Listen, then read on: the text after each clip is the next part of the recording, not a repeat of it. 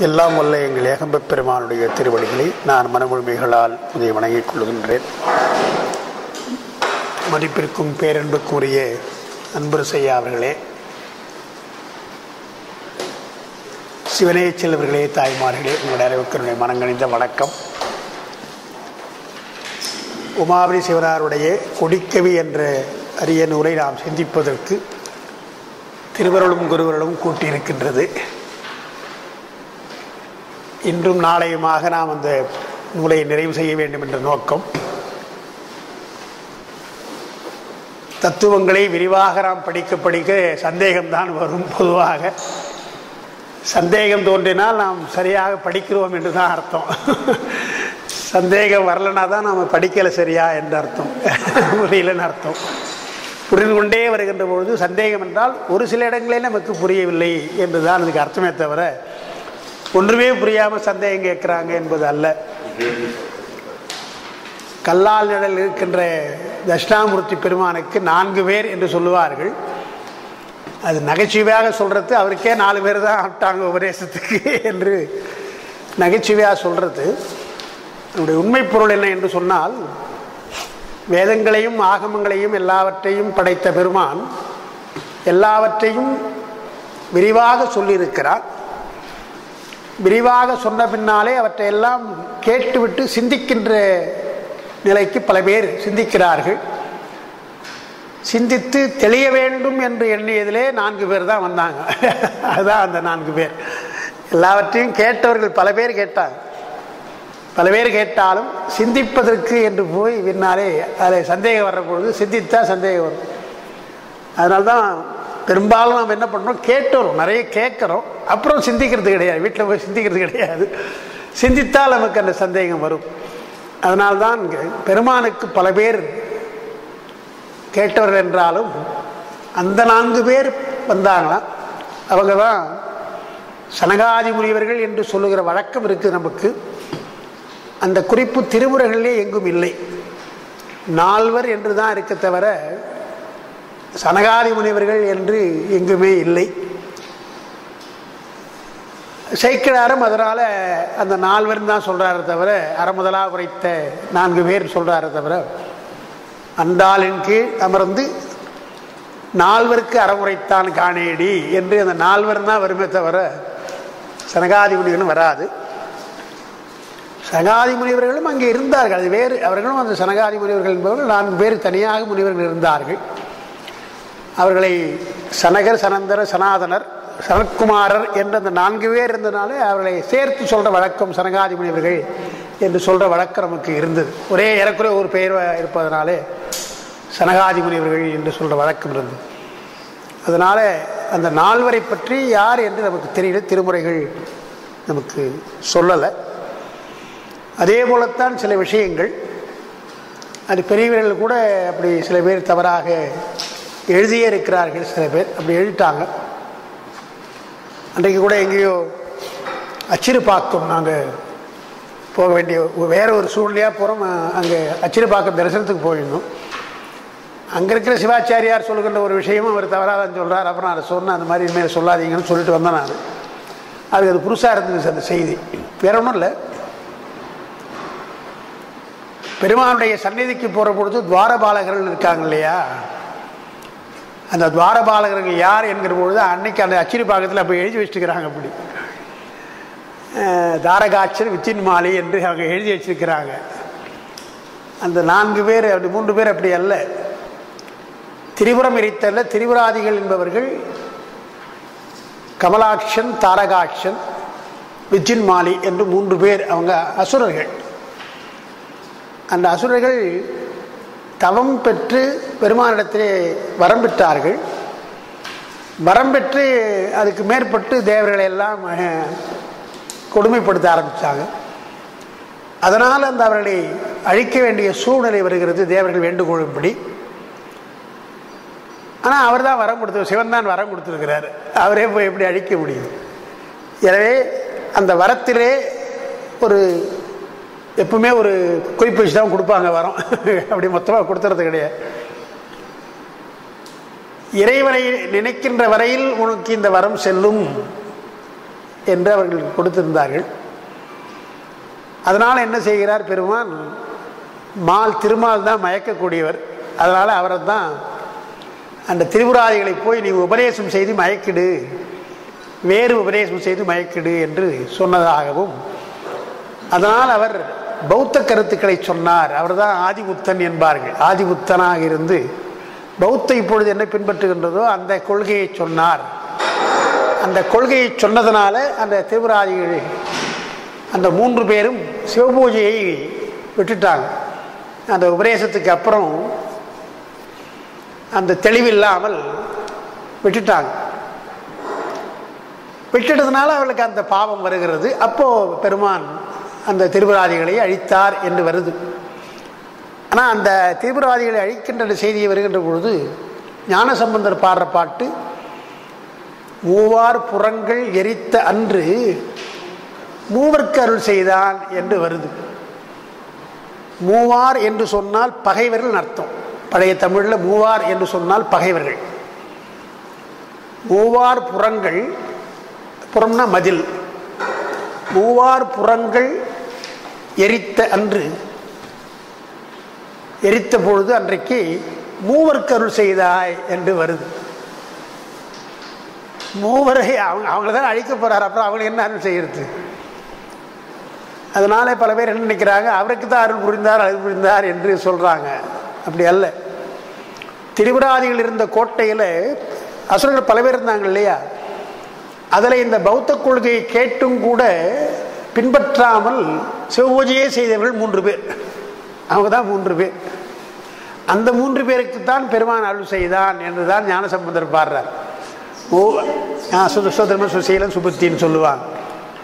Muar புறங்கள் எரித்த அன்று இந்த மூன்று பேரும் சிவபூஜையில் தவறாது இருந்ததுனால மூவருக்கு அருள் செய்தான் என்று அவர்களை மட்டும் அழிக்காமல் மற்றவர்களையும் அழித்தான் என்று பாடுறார். அந்த ஒரு வரி தான் அவர் பாடுறார். ஆனால் சுந்தர பெருமான் அதை விரிவாக எடுத்து பாடுறார். முப்புறங்கள் எரித்த ஞான்று என்னென்ன நடந்தது என்று சொல்கிற பொழுது இரண்டு பேரை நின் வாயில் காவலராக வைத்தாய் ஒருவரை மகாசங்கார காலத்திலே மணிமுழா முழக்க அருள் செய்தாய் என்று அவர் பாடுறார் ஏழாம் திருமுறையில் சுந்தர பெருமான் பாடுற அந்த பாட்டு நமக்கு தெரியும். காஞ்சி புராணத்தில் இது ஒரு தனி படலமாகவே நமக்கு இருக்கின்றது. தனியாகவே சிவஞான முனிவர் பாடியிருக்கிறார். அதனால நம்ம இனிமேல் அப்படி என்ன நினைக்கிறோம் என்று சொன்னால் அந்த மூன்று பேரில் இரண்டு பேர் துவாரபாலகர்கள். சுதன்மன்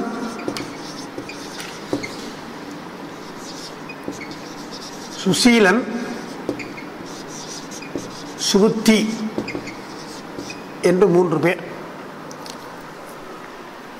இந்த மூன்று பேரில் யார் இரண்டு பேர் துவாரகாலர்கள் யார் மணிமுழக்கான்னு சொல்ற பொதுவாக அப்படி பாடிட்டார்.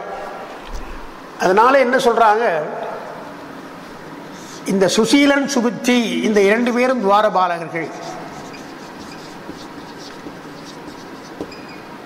சுதன் என்பவன் மணிமுழா. முடக்குதல் அப்படின்னு சொல்கிறாங்க துவாரம் என்றால் வழின்னு அர்த்தம் பாலகர் என்றால் காப்பாற்று அர்த்தம் உலகபாலர் என்று சொன்னால் உலகங்களை காப்பாற்றுகின்றவர்கள். பரிபாலனம் என்று சொல்றோம் இல்லையா? பரிபாலனம் செய்தல். உலகபாலர் என்று அரசர்களுக்கெல்லாம் பெயர். உலகத்தை காப்பாற்றுகின்றான் என்பதனால். அப்போ கோயில் சன்னதியில் போகிற பொழுது இந்த ரெண்டு பேர் ரெண்டு துவாரம் ஒரு வழியில் ரெண்டு பேர் இருப்பாங்க. அந்த இரண்டு பேருடைய சிற்பத்தை பார்த்தாலும் நமக்கு தெரியும். அதில் வலப்பக்கமாக இருக்கு. நாம் போகிற பொழுது இடப்பக்கமாக இருக்கும். கோயிலுடைய இதில் வலப்பக்கமாக பார்த்தீங்கன்னா இப்படி ஒன்று இருக்கும். அந்த பெரிய தண்டாயம்னு எழுதியிருப்பாங்க. கதாயுதம் ஒன்று இருக்கும் அதை படித்து ஊன்றி கொண்டு அப்படி காமிச்சிட்டு இருப்பார் ஒருத்தர். இந்த பக்கம் நீங்கள் பார்த்தீங்கன்னா இப்போ இந்த நாலு இப்படி வச்சுட்டு இந்த நான்கு வரை அப்படி காமிப்பார். அப்படி இருக்கும். அதான் சிற்பம். இப்படி தான் சரியாக இருக்கணும். பெருமான் ஒருவர் தான். பிரம்மம் கடவுள் என்று சொன்னால் அவர் தான் யாருன்னா உள்ளே இருக்கிறவர் பாருங்க என்று உள்ளே இருப்பது என்று காட்டுகின்ற முத்திரை. எப்படி இந்த அபயம் வரதம் சொல்றோம் இல்லையா? அபயம் இந்த இந்த இது வந்து கவ கவலைப்பட அஞ்சேல். கவலைப்படாதீர்கள் என்று நமக்கு அபயம் கொடுத்துட்டு நீ என்னுடைய திருவடியைச் சேர்ந்தால் என்று வரம் அதுதான் வரம் திருவடியைச் சேர்ந்தால் என்று நம்ம சொல்கிறோமோ அந்த முத்திரைக்கு அந்த அர்த்தம் சொல்கிறோமோ அதுபோல துவாரபாலகர்கள் என்று சொன்னால் இறைவன் ஒருவர் தான் நம்முடைய பெருமான் ஒருவர் தான் அவர் உள்ளே இருக்கிறவர் பாருங்கள் என்று சொல்வது போல அந்த இது அமைந்திருக்கும். அதனால் கோயிலுக்குள்ளே போகிற பொழுது சீலமும் புத்தியும் நமக்கு இருக்கணும். சீலம்னா ஒழுக்கம்னு அர்த்தம். புத்தி என்றால் தற்போதம் கடந்து பெருமானுடைய அருளை நினைக்கிறது. அதனால் சுசீலன் என்றால் நல்ல நல்ல ஒழுக்கம் அர்த்தம். சுசீலன் என்றால் நல்ல ஒழுக்கம். பாரத்தில் சுயோதனுக்கு துரியோதனுக்கு சுயோதனன் ஒரு பெயர் உண்டு. சுயோதனன் என்று ஒரு பெயர் உண்டு. துரியோதனுக்கு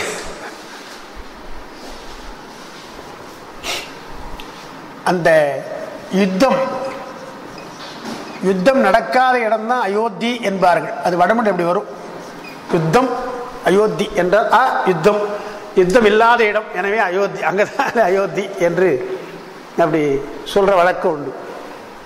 அயோத்தி மாநகரம் ராமன் இருந்த இடத்துல போர் இருக்காது அவன் சீலமுடையவன் என்று சொல்றது.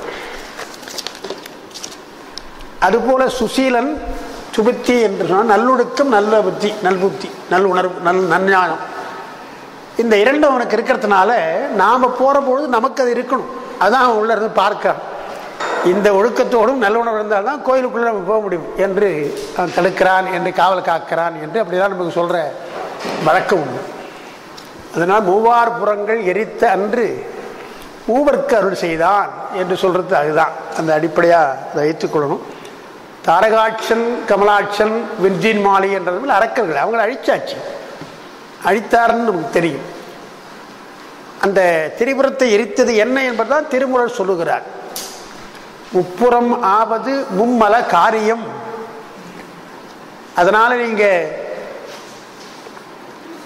மூன்று புறங்களை எரித்தார் அசுரர்கள் அரக்கர்கள் சொன்னால் என்ன என்று சொன்னால் நம்முடைய மூன்று மலங்கள் தான் அதைத்தான் புராணமாக சொல்லியிருக்கிறாங்க என்று அவர் திரும்ப அந்த உண்மையை சொல்கிறார் புராணத்தில் என்ன உண்மை என்றால் ஆணவம் கண்மம் மாய நமக்கு இருக்கிறது. முப்புறம் எரித்தலர் என்பர்கள் மூடர்கள். வெறும் அதை மட்டும் கதை மட்டும் கேட்டுருக்காங்களே அது கதை அல்ல. உள்கருத்து என்ன என்றால் உப்புறமாவது மும்மல காரியம் நமக்கு இருக்கின்ற ஆணவம் கண்மம் மாயை தான் அழிக்கின்றான் என்று சொல்கிறார் அதனால் இதெல்லாம் திருமுறைகளை படிக்கிற பொழுது நமக்கு சில விஷயங்கள் நாம் தெரிந்து கொள்ளணும். அவர்கள் அப்படி முக்கியமாக சிலவற்றை பாடியிருக்கிறாங்க சிலவற்றை பாடியிருக்கிறாங்க. சாஸ்திரங்களை படித்தால்தான் திருமுறையுடைய உண்மை பொருள் நமக்கு விளங்கும். தோடுடைய செவியன் என்று ஆரம்பித்தால் தோடு சுடைய செவியன் என்பதற்கு நம்ம புராணமாக சொன்னால் அர்த்தநாரீஸ்வரன் வடிவத்தை சொல்லலாம். ஆனால் தோடு என்பதில் தோ என்பது ஓங்காரம் பிரணவம் என்று சொல்லி அது ஏன் தோன் ஆரம்பித்தார் என்றால் ஓவும் இத்தும் சேர்ந்தது இத் என்றால் தமிழ் அது ஒரு ஓ ஓங்காரம் பிரணவம் என்று எல்லாவற்றுக்கும் பிரணவம் தான் முதற் காரணம் என்று தோ என்று சொன்னார். தோடு என்பது சக்தியை குறிக்கும் திருவுருளை குறிக்கும். எனவே திருவுருளாலே அது பாடப்பட்ட பாடல் என்று சொன்னார் என்றெல்லாம் நமக்கு விளக்கம் இருக்கு அஹ், சேக்கிழார் என்ன செய்கிறார்? அதை சொல்கிறார் அவரும் சொல்கிறார் நான் சொன்ன இந்த ஓ- ஓங்காரத்தை சொல்றார். எல்லையிலா மறைமுதல் மெய் உடன் எடுத்த எழுதுமறை என்று எல்லையிலா மெய் முதல் எழுத்து மறை. எல்லையிலா மறை மெய் முதல் என்று சொல்றார். எல்லையில்லா மறை என்பதுதான் ஓ என்பது ஓம் என்பது. மெய் என்பது அங்க அவர் சொல்றது இத்- இத்துன்னு அர்த்தம். இத்துன்ற இத் மெய் எழுத்து. எல்லையிலா மறைமுதல் மெய்யுடன் எடுத்த எழுதுமறை அந்த ஓம் என்று சொல்லி தொடங்குகின்ற வடமொழி இருக்குது இல்லையா? அது எழுதாத மறை. இது அவர் பாடுறது எழுதுமறை என்றார் எழுதுகின்ற எழுத்து எழுத்தில் வரும் தமிழில் வரும்னு எழுத்து. அதை அதை எழுதக்கூடாது. நான்கு வேதங்களே எழுதக்கூடாதுன்னு சொல்லுவாங்க. உபதேசிக்கிற பொழுதே உபதேசமாக இருக்கணும் தவிர எழுதக்கூடாதுவாங்க ஆனால் ஞான சம்பந்த பெருமான் அப்படிதில்லை எழுதுமறையாக நீங்கள் எழுதி பண்ணால் நல்லா படிங்க என்றவர் சொல்கிறார் எழுதுமறை என்றவர் சொல்கிறார் ஆனால் அவர் சொல்கிறது தோடுடையன்னு சொல்லிட்டு செவி ஏன் சொன்னார் அவர். சேர்க்கலாம் அதுக்கு நயன் சொல்கிறார் செவின்னு ஏன் சொன்னார் என்று அவர் சொல்கிறார் செவியை சிறப்பித்ததுக்கு என்ன காரணம் என்று சொன்னால் பல்லுயிரும் கலிகூற பரபரவால் தாம் பாடும் பாடல் அல்லவா? உயிர்களெல்லாம் வாழ்வதற்காக. பல்லுயிரும் கலிகூற பரபரவால் பரபரவால் தம்பாடல் செல்லுமுறை பெறுவதற்கு திருச்சிவை சிறப்பித்தார். பெருமானே நான் பாடுகின்ற பாடலாம் நீங்கள் திருச்சிவி சார்த்த வேண்டும். ஏன்னா உயிர்களெல்லாம் அது அதை பாடி உய்ய வேண்டும் அல்லவா? அப்போ உங்களுடைய திருச்செவி சார்த்தினால் அது நிச்சயமாக நிரந்தரமாக இருக்கும் இல்லையா? எனவே செல்லுமுறை பெறுவதற்கு திருச்செவியை சிறப்பித்தார் என்று அவர் பாடுறார் அதனால் இவையெல்லாம் திருவுருள் இருந்தாலும் நமக்கு இந்த சாத்திர பின்னணியோடு நாம் படித்தால்தான் நமக்கு அந்த உண்மை விளங்கும் என்பதனால் பார்க்கறது. அதனால் இப்போ நம்ம கொடிக்கவியில் நம்ம சாஸ்திரம் தான் நிறைய நிறைய பார்த்துருக்குறோம். அதில் எழுதுனா நேரம் ஆகிடும் சிலவற்றை நான் சொல்கிறேன் அப்புறம் நோட்ஸ் உங்களுக்கு கொடுத்துட்றோம் அதில் பாருங்கள் இன்றைக்கி உங்களுக்கு கொடுத்து இது இது கொடுத்தாங்களோ? சரி. ஆமாம் போதகாரியம் மறைத்துன்னு இருக்குது இதில் நாம் நேற்று சொன்னதில் இரண்டாவது பாட்டில்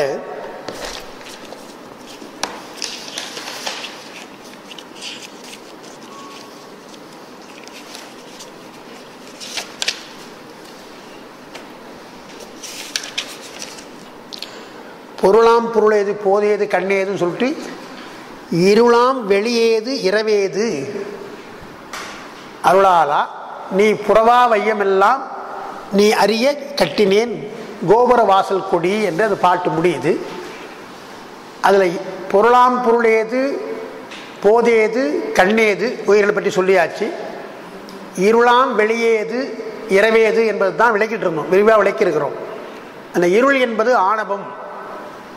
அதான் இரவேதுன்றார். இரவேது இரவு என்பது அங்கே ஆணவத்தை குறிக்கின்றது. ஆனால் அடுத்து இருளாம் வெளியே எதுன்றார். வெளி என்று சொன்னால் அங்கே பகல் தான் இரவு என்று சொன்னால் அதுக்கு எதிர்ப்பதும் பகல் தான் எனவே இரவேது என்று சொல்றது ஆணவம் என்று சொன்னால் பகல் என்று சொல்ற பொழுது நமக்கு பகலாக இருப்பது விளக்கம். அப்போ விளக்கம் தருவது எது? ஆணவம் தான் நமக்கு இருட்டை தருவது. விளக்கம் தருவது என்பது மாயை. மாயை.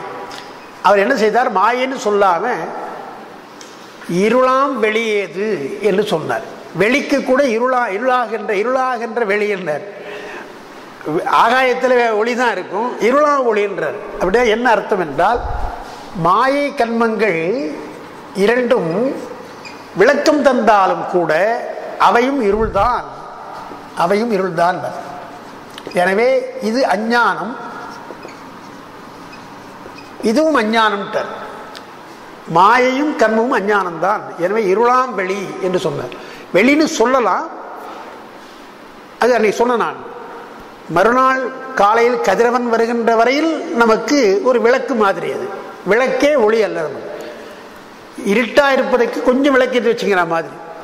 சென்னையில் இப்போலாம் நிறைய இப்போ மின்வெட்டுன்னு போட்டான் அதில் பார்க்குற பொழுது அதில் பார்த்தா அடிக்க நான் என்ன பண்ணுறேன் மெழுகுவர்த்தி வச்சுக்க வேண்டியதாக இருக்குது இரவு நேரத்தில். அதுக்கப்புறம் அது அது போன கூட கொஞ்சம் பரவாயில்ல இந்த லைட் வந்தோட வெளிச்சம் வந்துடுச்சுன்னு நம்ம நினைக்கிறோம். அதுவும் போய் பகல் வந்தால் இன்னும் நல்ல வெளிச்சம் என்று பார்க்குறோம் இல்லையா? அந்த மாதிரி நமக்கு அறிவு கொஞ்சம் கொஞ்சமாக விளங்குவதற்காக ஆணவம் முழுக்க முழுக்க இருட்டாக இருக்குது. அதுக்கு மேற்பட்டு இருப்பது நமக்கு அந்த மாயை கர்மங்கள். அது நமக்கு இரவு நேரத்தில் ஏற்றி வைக்கின்ற விளக்கு போல. பின்னாலே பெருமானுடைய அருள் தான் நமக்கு கதிரவன் சூரியன் வருவது போல என்று நான் அன்றைக்கெல்லாம் விளக்கிறேன். அதில் இந்த இருளாம் வெளி என்பது சகல நிலை இரவு என்பது கேவல நிலை. அதுதான் கேவல நிலையும் சகல நிலையும். இரண்டும் நமக்கு கூடாதுன்றார் ரெண்டும் பந்தம் தான் கேவலத்திலே ஒன்றும் அறியாமல் இருக்கிறோம். சிலவற்றை அறிய வேண்டிய நிலை இதனை நிலை. அதனால இரவு பகல் இரா பகல் இடம் என்று மூன்றா சொல்றோம் நாம். இரவு என்பது ஒரே இருட்டாக இருக்குது ஒன்றும் தெரியாது. பகல் என்று சொன்னால் அது வெளி அல்லது ஒளின்னு சொல்லக்கூடாது. இருளும் ஒளியும் கலந்தது. இருளும் ஒளியும் கலந்ததாக இருக்குதுங்க பகல் நேரம். அதுக்கப்புறம் இராப்பகல் அற்ற இடம் என்று ஒரு இடம் இருக்கு போகும் நமக்கு. அதுதான் நமக்கு அந்த சுத்த நிலைன்னு சொல்கிறாங்க அந்த நிலையில் அதுதான் சுலபமாக உங்களுக்கு சொன்னது. அறிவு விளங்காத நிலை அறிவு விளங்கிய நிலை அறிவு அடங்கிய நிலை என்று மூன்றா சொன்னேன். அறிவு விளங்கா நிலை என்பதுதான் நமக்கு இருள் ஆணவம். சகலம் என்று சொல்ற நம்ம பிறப்பு இருக்கு இல்லையா? அது விளங்கிய நிலை. நமக்கு ஓரளவு எல்லாம் தெரியுது. அங்கே பெருமாடத்தில் போனால் நம்முடைய அறிவு அடங்கி போகுது. எனவே அருள் அங்கே அங்கே அறிவு அடங்கிய நிலை. விளங்கா நிலை விளங்கிய நிலை அடங்கிய நிலை என்று அப்படி மூன்றா சொன்னது. அதுக்கு துணையாக இருப்பது என்பது ஆணவம். இந்த கேவலத்தில் ஆணவம் துணையாகிறது உயிருக்கு. சகலத்தில் துணையாக இருப்பது நமக்கு அந்த மாய கர்மங்களை சத்துவங்கள் நான் சொல்லணும் மொத்தமாக தத்துவங்கள் முப்பத்தாறுன்னு சொன்னது. அதற்கடுத்து இருக்கிற சுத்தத்தில் வருகின்ற பொழுது பெருமானுடைய அருள். அதுதான் நமக்கு துணை என்று நாம் சொன்னோம். அதில் அன்னைக்கு அன்னைக்கு சொன்ன ஒரு நோட்ஸ் நீங்கள் பார்த்துருக்கலாம். உயிருக்கு விளக்கம் தருவதற்காக பெருமான் என்னென்னலாம் கருவிகள் தந்திருக்கிறான் என்கிற பொழுது புறக்கருவி உட்கருவி அதுக்குள்ளே இருக்கிற இன்னொரு உட்கருவி அதுக்கப்புறம் வாக்குகள். என்று நான்கு வகையாக அதை சொல்லணும் என்று நான் சொன்னேன். அந்த நான்கு வகை வாக்குகளை பற்றியும் இன்னும் அந்த தத்துவ தோற்றங்களை பற்றியும் நான் சுருக்கமாக இதில் எழுதியிருக்கிறேன். உங்களுக்கு அடிக்கடி சொல்கிற விஷயம்னா சுருக்கமாக நான் எழுதியிருக்கிறேன். இதை ரொம்ப நம்ம அதிகமாக சொன்னால் பாட்டு முடிக்க முடியாது. அதனால் நான் என்ன பண்ணியிருக்கிறேன் உங்களுக்கு இப்போ அந்த விஷயத்தை விளைக்கிறேன் அதுக்கப்புறம் நீங்கள் நோட்ஸ் பார்த்தா ஓரளவு புரியும். அதனால் முதல்ல நான் நினைக்கிறது சொல்ல வேண்டியதெல்லாம் சிவதத்துவம்னு எடுத்துக்கலாம் முதல்ல. ஏன்னா அதுதான் நமக்கு வாக்கு துணையாக வருவது. இறைவன் நமக்கு முதலாவதாக தருகின்ற கருவி என்பது வாக்கு தான் அது துணை. அதைத்தான் பரம பந்தம் அது ஒரு பந்தம். வாக்கு நமக்கு பந்தம் தான் அதனால் அது என்ன பண்ணாங்க? பரமபந்தம் என்று சொன்னாங்க. வாக்கு மட்டும் பரமபந்தம். பரமபந்தம். பரமபந்தம் என்று சொன்னால் அதுதான் முதலாவதாக இருக்க மேலாக முதல்ல வந்த ஒரு கட்டு அது. அதனால் என்ன ஆகிறது? அதுதான் கடைசியாக விழ வேண்டும். அந்த முதல்ல வந்த கட்டு தான் கடைசியாக வைக்கணும். ஏதாவது ஒரு பொருளில் வந்து முதல்ல ஒரு கட்டு கட்டுவோம் அப்புறம் ஒரு கட்டு அப்புறம் ஒரு கட்டு மேலே மேலே கட்டிகிட்டே இருந்தோம்னு சொன்னால் முதல் கட்டு கடைசியில் போயிட்டுருக்கோம் இல்லையா? எல்லாவற்றையும் அழுத்திருப்பாங்க தான் கடைசி கட்டை வைக்க முடியும். அதே மாதிரி தான் நமக்கு முதல்ல உயிரை பந்திப்பது என்பது வாக்குகள்.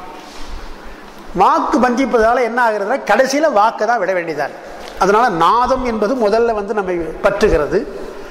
அந்த நாதத்தை தான் பின்னால் நம்ம கடக்கணும். எனவே அதை நாதாந்தம் என்கிறார். திருமந்திரத்தில் இந்த எல்லா விஷயத்தையும் சேர்த்து மொத்தமாக சொல்லாமல் ஒரு ஒரே பாட்டை ஒன்று சொல்லியிருக்கிறார். அந் அந்த அந்தங்கள் என்றால் முடிவுன்னு அர்த்தம். அந்தம் என்றால் முடிவு. நமக்கு எதெல்லாம் வந்திருக்குதோ அதெல்லாம் விடணும். விட்டால் அதெல்லாம் நமக்கு முடிவுகள்ன்றாங்க. அவர் சொல்கிற பொழுது முதல்ல கலாந்தம்னு கலாந்தம். கலை. கலை என்று சொல் கலை வித்தை அராகம் சொல்கிறோம் இல்லையா? அந்த கலை கலாந்தம் என்று ஒன்று. அதுக்கப்புறம் நமக்கு யோகாந்தம் என்று ஒன்று. அதுக்கப்புறம் போதாந்தம் என்று ஒன்று. அதுக்கப்புறம் நாதாந்தம் என்று ஒன்று. அதுக்கப்புறம் வேதாந்தம். அதுக்கப்புறம் சித்தாந்தம். என்று இந்த ஆறு அந்தங்களை சொல்லுவாங்க. திருமுறையில் வரும். கலாந்தம் யோகாந்தம் போதாந்தம் நாதாந்தம் வேதாந்தம் சித்தாந்தம் என்று ஆறு அந்தங்கள் வரும்.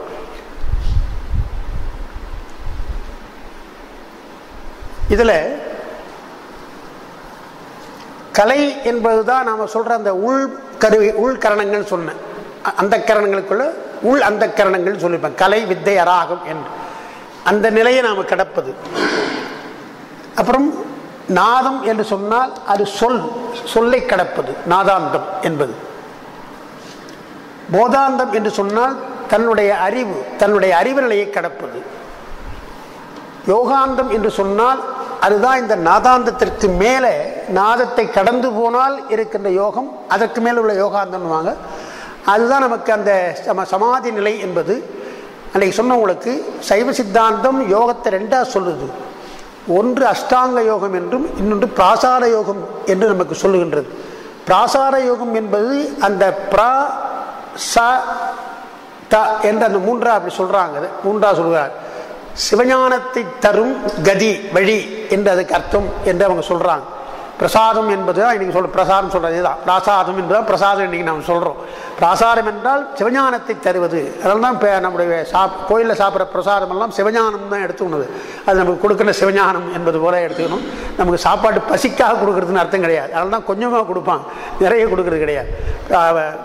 நைவேத்தியம் பண்ணால் அது பிராசார யோகம்ன்றார் அந்த யோகத்தினுடைய முடிவாக வருகின்ற பொழுதுதான் நமக்கு அந்த பெருமானுடைய திருவருள் கிடைக்கும் என்று அன்னைக்கு ஆதாரம் நிராதாரம் மீதானம் என்று நான் சொன்னேன். அது இந்த யோகாந்தத்தை குறிப்பது. வேதாந்தம் என்பது வேதம் என்றால் வாக்குன்னு தான் அங்கே வைத்துக்கொள்ளணும் வாக்கினுடைய இடமாக பொருள் என்ன அந்த வாக்கு சொற்கள் என்ன சொல்லுகிறது பொருள் என்று தெரிந்து அந்த பொருளையும் நாம் கடக்கணும். சொல் மூலமாக வருகின்ற பொருளை கடக்கணும். நமக்கு இப்போ எந்த எந்த பொருளை பார்த்தாலும் சொல்லும் பொருளுமா நமக்கு தெரியும். எனவே பொருளை கடந்ததோட பொருளுடைய சொல்லும் கடக்கணும். அதை எப்படி சொல்ல கடக்கணும் என்பது சொன்னால் அதுக்கு சாதாரணமாக ஒரு வார்த்தை சொல்கிறாங்க உங்களுக்கு புரியறதுக்காக ஒரு வார்த்தை சொல்கிறேன் அல்வா அப்படின்னா நமக்கு பிடிக்குது டக்குனு உடைய புரிஞ்சுக்கிறோம். அந்த சொல் தான் வேற ஒன்றும் இன்னைக்கு கிடையாது. அது இனிப்பு என்று தெரிந்து கொண்டு உடனே நமக்கு ஒரு சுவை வருகின்றது. அதே சமயத்தில் பாகற்காய் என்று சொன்னால் நமக்கு கசப்பு என்று டக்குன்னு தெரிஞ்சுக்கிறோம். அப்போது நான் பாகற்காயும் கொடுக்கல அல்வாவும் கொடுக்கல. ஆனாலும் சொல்லுகிற பொழுதே அந்த முயற்சி வந்து அப்போ என்ன அர்த்தம்? பொருள் நீங்கள் கடந்தாச்சு பொருள் நமக்கு இல்லை. அதை விட்டுட்டோம். ஆனால் சொல்ல நம்ம விட முடியல இல்லையா? நீங்கள் பாகற்கானா சொல்லுங்க அல்வானா சொல்லுங்க பேசாமல் இருக்கணும். எந்த விதமான உணர்ச்சியும் இல்லாமல் இருந்தால் அதை எப்படி சொல்லுவாங்க? உங்களை புகழ்ந்தால் மகிழ்ச்சி வருது இகழ்ந்தால் கோபம் வருது. ரெண்டுமே சொற்கள் தானே. புகழ்ந்தாலும் அதுவும் சொல்லுதா இகழ்ந்தாலும் சொல்லுதா? சொல் என்ற அளவிலே ஒன்று தானே அங்கே ஏன் நம்ம கோபம் வருது என்று சொன்னால் நம்ம ஆணவம் அதில் புகழ்ந்தால் ஒரு மகிழ்ச்சி நமக்கு இருக்கிறதுனால நமக்கு அதை வெளிப்படுத்துகிறோம் அதில் ஈடுபட்டுரும் இகழ்ந்தால் நமக்கு கோபம் வர்றது காரணம் அதில் ஈடுபடுறோம். இந்த சொற்களில் சொற்களில் ஒன்றும் கிடையாது என்று கடப்பது. அதுதான் சொல்லை கடத்துறாங்க அந்த நிலை வருகின்ற பொழுது தான் உங்களுக்கு பின்னால் வேதாந்தம் என்ற நிலை வரும். பின்னால் சித்தாந்தம் என்பதுதான் நாம் இந்த மனம் புத்தி அகங்காரம் என்ற சித்தம் சொல்கிறோம் இல்லையா? அந்த சித்தம் என்பதும் அடங்க வேண்டும் என்று சிந்திக்கிற நிலை. பெருமானையே சிந்திக்கின்ற ஒரு நிலை. மற்றதெல்லாம் சிந்தை மற்றெல்லாம் விட்டுடும். அதுதான் மாணிக்க வாசகர் சிந்தனை நிந்தனக்கு ஆக்கி அவர் பாட்டில் தெரியும் சிந்தனை நிந்தனக்கு ஆக்கினார். என்னுடைய சிந்தனையெல்லாம் எப்பொழுதுமே உங்கள்கிட்ட தான் இருக்குது என்று சொல்வது. அப்படி ஆறு அந்தங்களாக சொல்கிறான் அதனால் முதலாவதாக இந்த உயிர்களுக்கு அவன் தருவது வாக்கு தருகிறான். அந்த வாக்கு என்பதுதான் சிவதத்துவம் என்று நாம் சொல்கிறோம் நம்ம சிவதத்துவத்தில் நாதம் விந்து சாதாக்கியம் மகேஸ்வரம் சுத்த வித்தை என்று ஐந்தா சொல்கிறோம் அந்த ஐந்து சொல்கிற பொழுது அதை மட்டும் நான் எழுதிடுறேன்.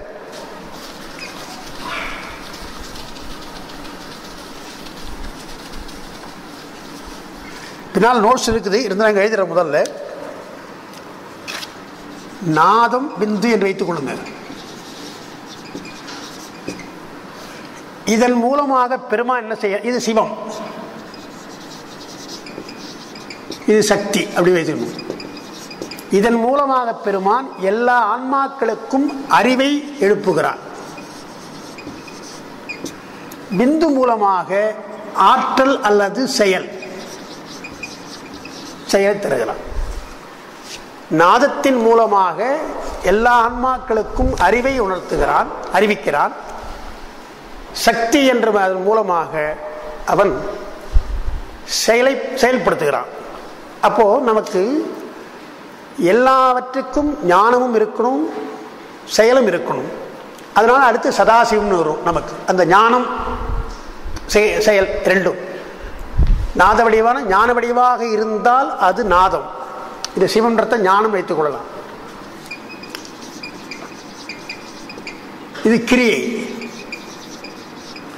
ஞான வடிவாக இருந்தால் பெருமானை அங்கே சிவம் நாதம் சொல்லணும். கிரியை வடிவாக இருந்தால் அது சக்தின்னு சொல்லணும். அது இரண்டும் இருந்தால் ஞானமும் கிரியும்னா நாதம் விந்து. நாதம் என்ற சொல் விந்து.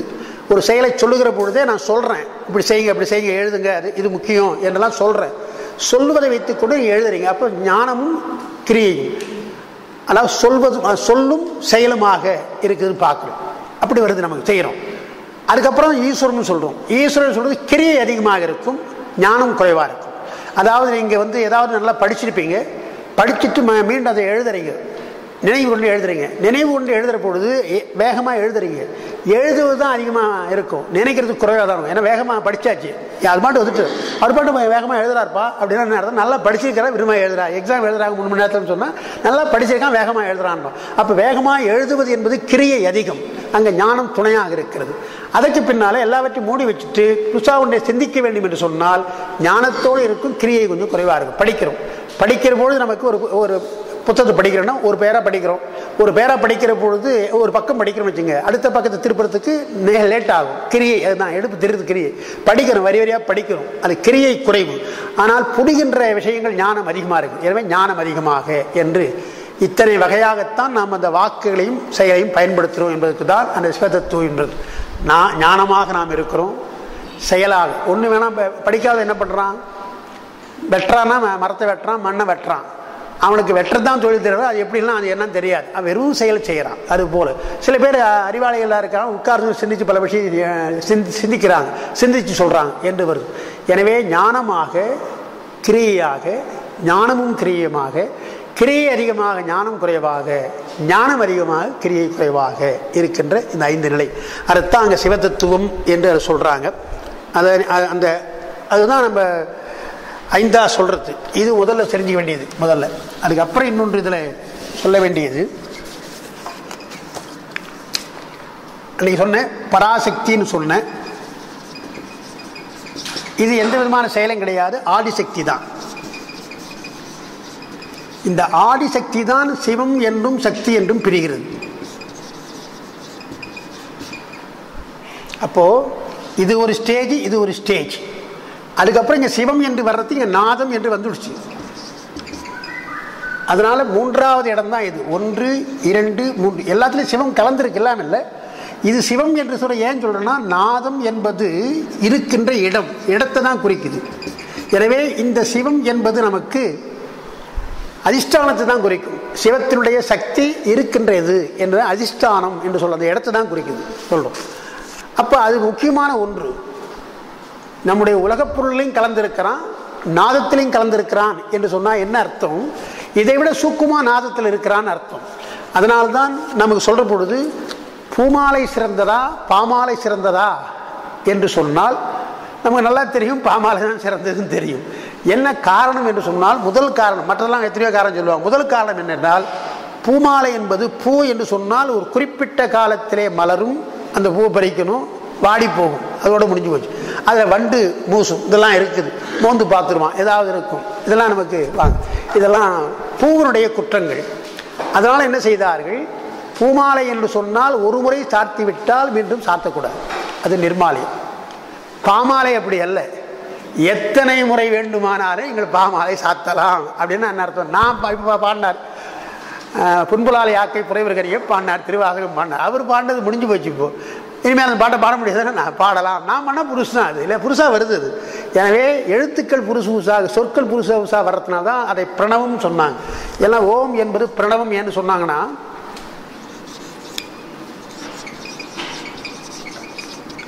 நவம் என்றால் புதுமைன்னு அர்த்தம். பிர என்பது ஒரு முன் ஒட்டுது அது ப்ரீஃபிக்ஸ் அது அது ஒன்றும் அர்த்தம் கிடையாது. நவம் என்றால் புதுமைன்னு அர்த்தம். இதிலிருந்து எழுத்துக்கள் புதுசு புதுசாக வந்துட்டே இருக்குன்னு அர்த்தம். நீங்கள் ஆன்னு சொன்னால் நான் ஆண் சொல்லலாம் அவர் ஆண் சொல்லலாம். எல்லாம் புதுசு புதுசாக வர்றது தான் எனவே பூமாலை என்பது நிர்மாலத்துக்குரியது பாமாலை எவ்வளோ சொன்னாலும் அது அழுக்காகாது. நான் நீங்களும் சொல்லலாம் நானும் சொல்லலாம். என்பதனால தான் பாமாலையை நீங்கள் பாடுங்கள் என்று சொன்னார் குமரகுரு ஒரு பாட்டு பாடுறார் திருவாரூரில் பாடுறாரு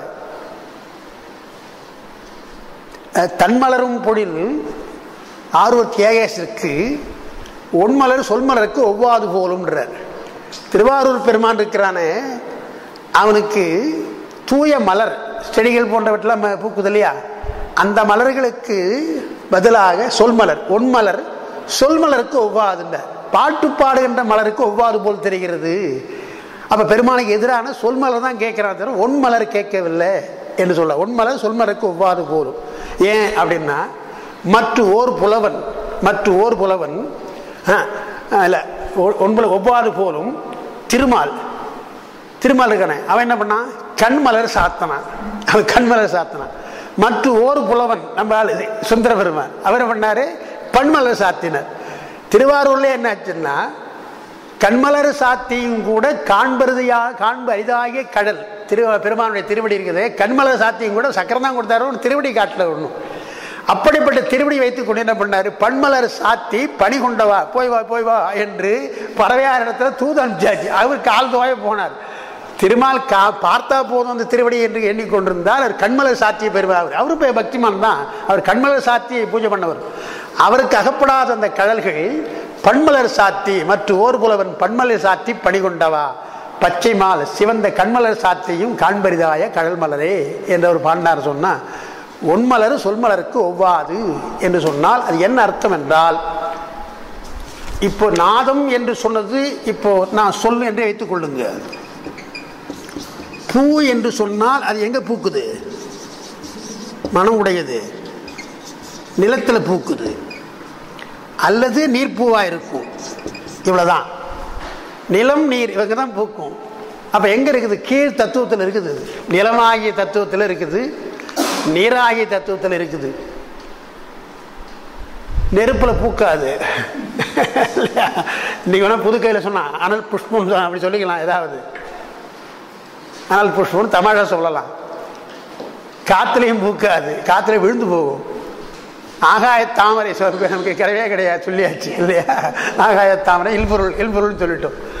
அப்போ நிலம் நீர் என்ற தத்துவத்தில் அது இருப்பதாலே மனம் இருக்கலாம் அதெல்லாம் இருக்கட்டும்.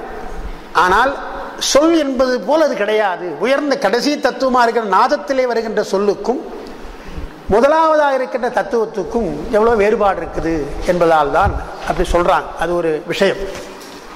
சரி அது இருக்கட்டும். அது ஒன்று சொல்ல நினச்சது.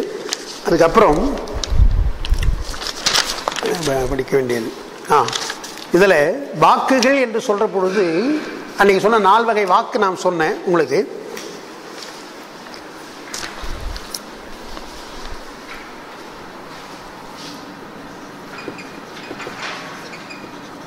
விந்து என்று சொன்னால் சுத்த மாயைன்னு ஒரு அர்த்தம் இருக்குது.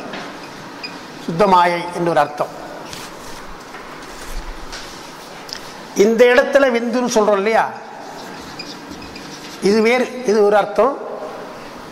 இன்னொரு அர்த்தம் சுத்தமாய்க்கு விந்து என்று ஒரு பெயர் உண்டு.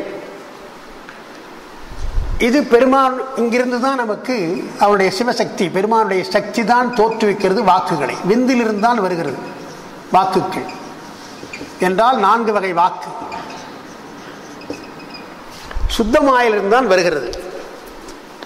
அப்போ மாயிலே கூட பிரகிருதி மாயை அசுத்த மாயை சுத்த மாயை மூன்று இருக்குது.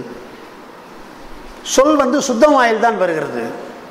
அது நேரடியான தொடர்பு பெருமானுக்கு நேரடியான தொடர்பு. சிவதத்துவம் சொல்றதுனாலையும் நாத வடிவாக பெருமான் இருக்கின்றான். எவ்வளவோ பெயர்கள் பெருமானுக்கு இருந்தாலும் நாதன் என்று ஒரு பெயர் உண்டு. நமச்சிவாய வாழ்க. நாதந்தாள் வாழ்க என்ன? அது கா காசு பிள்ளை உரை எழுத போல் எழுதுகிறார் நமச்சிவாய என்பது பெருமான் கொடுத்த உபதேசம் உபதேசம். அதை சொன்னது குரு அல்லவா? எனவே நாதன் என்று சொல்றார். நாதன் என்றால் குரு என்று ஒரு அர்த்தம் இருக்குது. நாதனா குரு.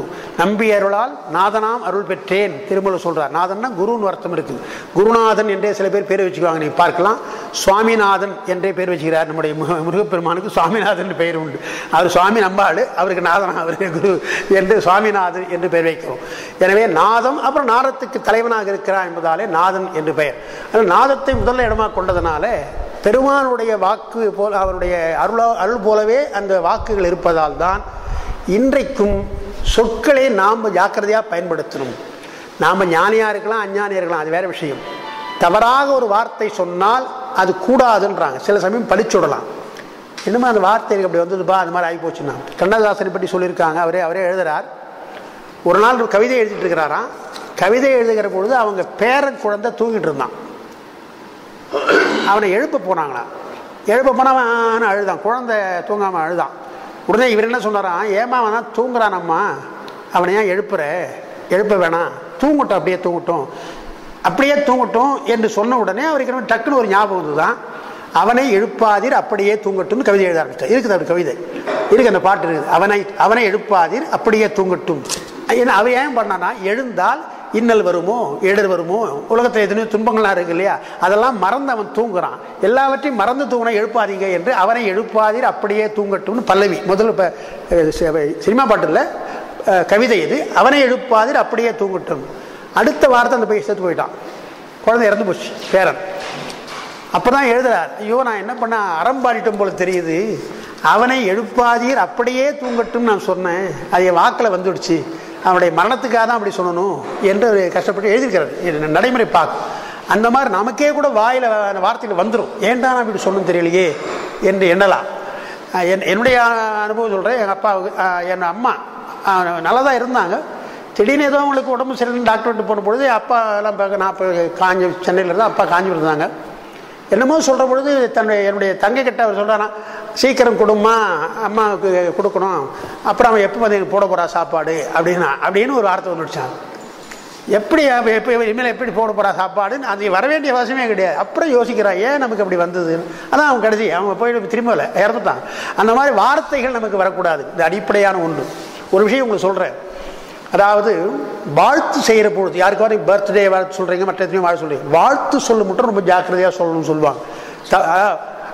வானலாக நீங்கள் புகழ் பெற வேண்டும்லாம் சொல்லக்கூடாதுன்றாங்க. அந்த வான் என்ற சொல்லலாம் நமக்கு வரக்கூடாது என்றெல்லாம் நமக்கு சொல்கிறாங்க இதெல்லாம் வந்து அதாவது அவங்க சொல்கிற தீய சொற்கள் தீச்சொற்களாக உள்ள தீச்சொற் பயன் என்றெல்லாம் நமக்கு நச்சு சொற்கள் என்றே சொல்கிறாங்க அந்த மாதிரி நமக்கு தமிழில் இருக்குதுன்னு சொன்னால் என்ன காரணம்?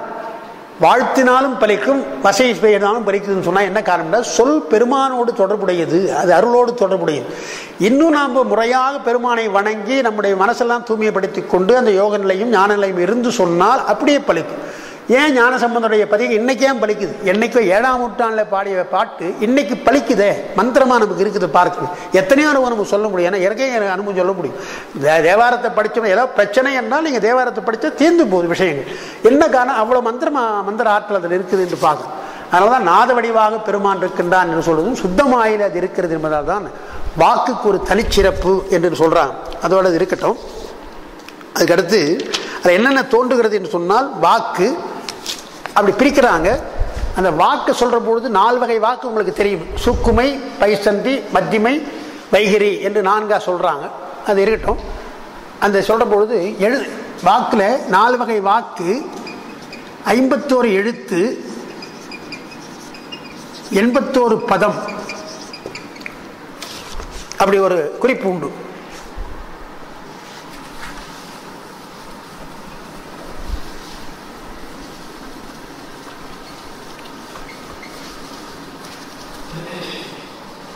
ஐம்பத்தோரு எழுத்து எண்பத்தோரு பதம் என்று சொல்றது. அதுக்கப்புறம் இப்போ இந்த சொல்லணும் ஒரு விஷயத்தை ஐம்பத்தோரு எழுத்து தான் இது வடமொழியில் உள்ளதுங்க. அதையும் சொல்லிடுறேன். ஏசா தமிழை சொல்லக்கூடாது? தமிழ் முப்பது எழுத்து தான். தமிழ் முப்பது எழுத்து தான். அது திருமணம் சொல்றார். வடமொழியில் ஐம்பத்தொன்று இருந்தாலும் என்ன பிரச்சனை சொன்னால் ஐம்பத்தி ஒன்றா ஐம்பதா நாற்பத்தொன்பதா என்று இன்னும் முடிவு பண்ணலை அவங்க. சொல்றாங்க இப்போ சொல்லிருக்காங்க. ஐம்பத்தொன்னா நான் ஐம்பதா நாற்பத்தொன்பதா என்று இன்னும் முடிவு பண்ணலை. அப்படி இருக்கு.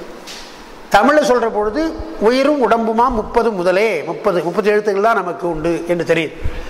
அவர் திருமலை என்ன செய்வார்? எத்தனையோ எழுத்திருக்கலாம். இருந்தாலும் மந்திரமாக சொல்வதற்கென்று சமயங்கள் சில எழுத்துக்களை வைத்துக் கொண்டிருக்கின்றன.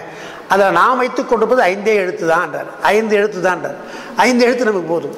அவங்க என்ன பண்ணாங்க வடமொழியில் காயத்ரி தான் முக்கியமான மந்திரம் அவங்களுக்கு. எனவே அது இருபத்தி நாலு எழுத்து. அவர் சொல்ற ஐந்து எழுத்து சிறந்ததா? இருபத்தி நாலு எழுத்து சிறந்ததா? என்று சொன்னால் முதல்ல ஐந்து தான் அதுக்கப்புறம் தான் இருபத்தி நாலுக்கு போகணும் இல்லையா? இருபத்தி நாலு அதில் ஐந்து அடங்கு இருக்குது இல்லையா? எனவே ஐந்து என்பது மிக முக்கியமான நமக்கு என்று அவர் எழுதுற திருமூலர் பாட்டு தனியாக இருக்குது.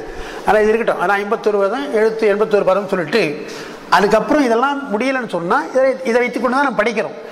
எப்படி தமிழில் முப்பது எழுத்து இருந்தாலும் ஆயிரக்கணக்கான சொற்கள் இருக்கிறதோ ஆங்கிலத்தில் இருபத்தாறு எழுத்துனா எவ்வளோ பெரிய அகராஜ் இருக்குது டிக்ஷனரி இருக்கு. எல்லாம் இருபத்தாறு எழுத்துக்குள்ள தான் இருக்குது மேலே அதுக்கு மேலே கிடையாது. அதுக்குள்ள தான் மாறி மாறி வருது இல்லையா? ஏழு சுரம் தான் இருந்தாலும் எத்தனை ராகங்கள். அதுபோல் முப்பது எழுத்துக்கள் தான். ஆனால் ஆயிரக்கணக்கான எழு- சொற்கள் நமக்கு வருது. கடைசியில் எல்லாவற்றையும் வருகின்ற பொழுது சப்தகோடி மந்திரம் என்று சொல்கிறான் அதான் மந்திரம். சப்தகோடி மந்திரம். ஏழு கோடியாக சொல்லிட்டான். ஏழு கோடி என்ன முடிவு நினைக்கூட சொன்னேன். ஏழு கோடி.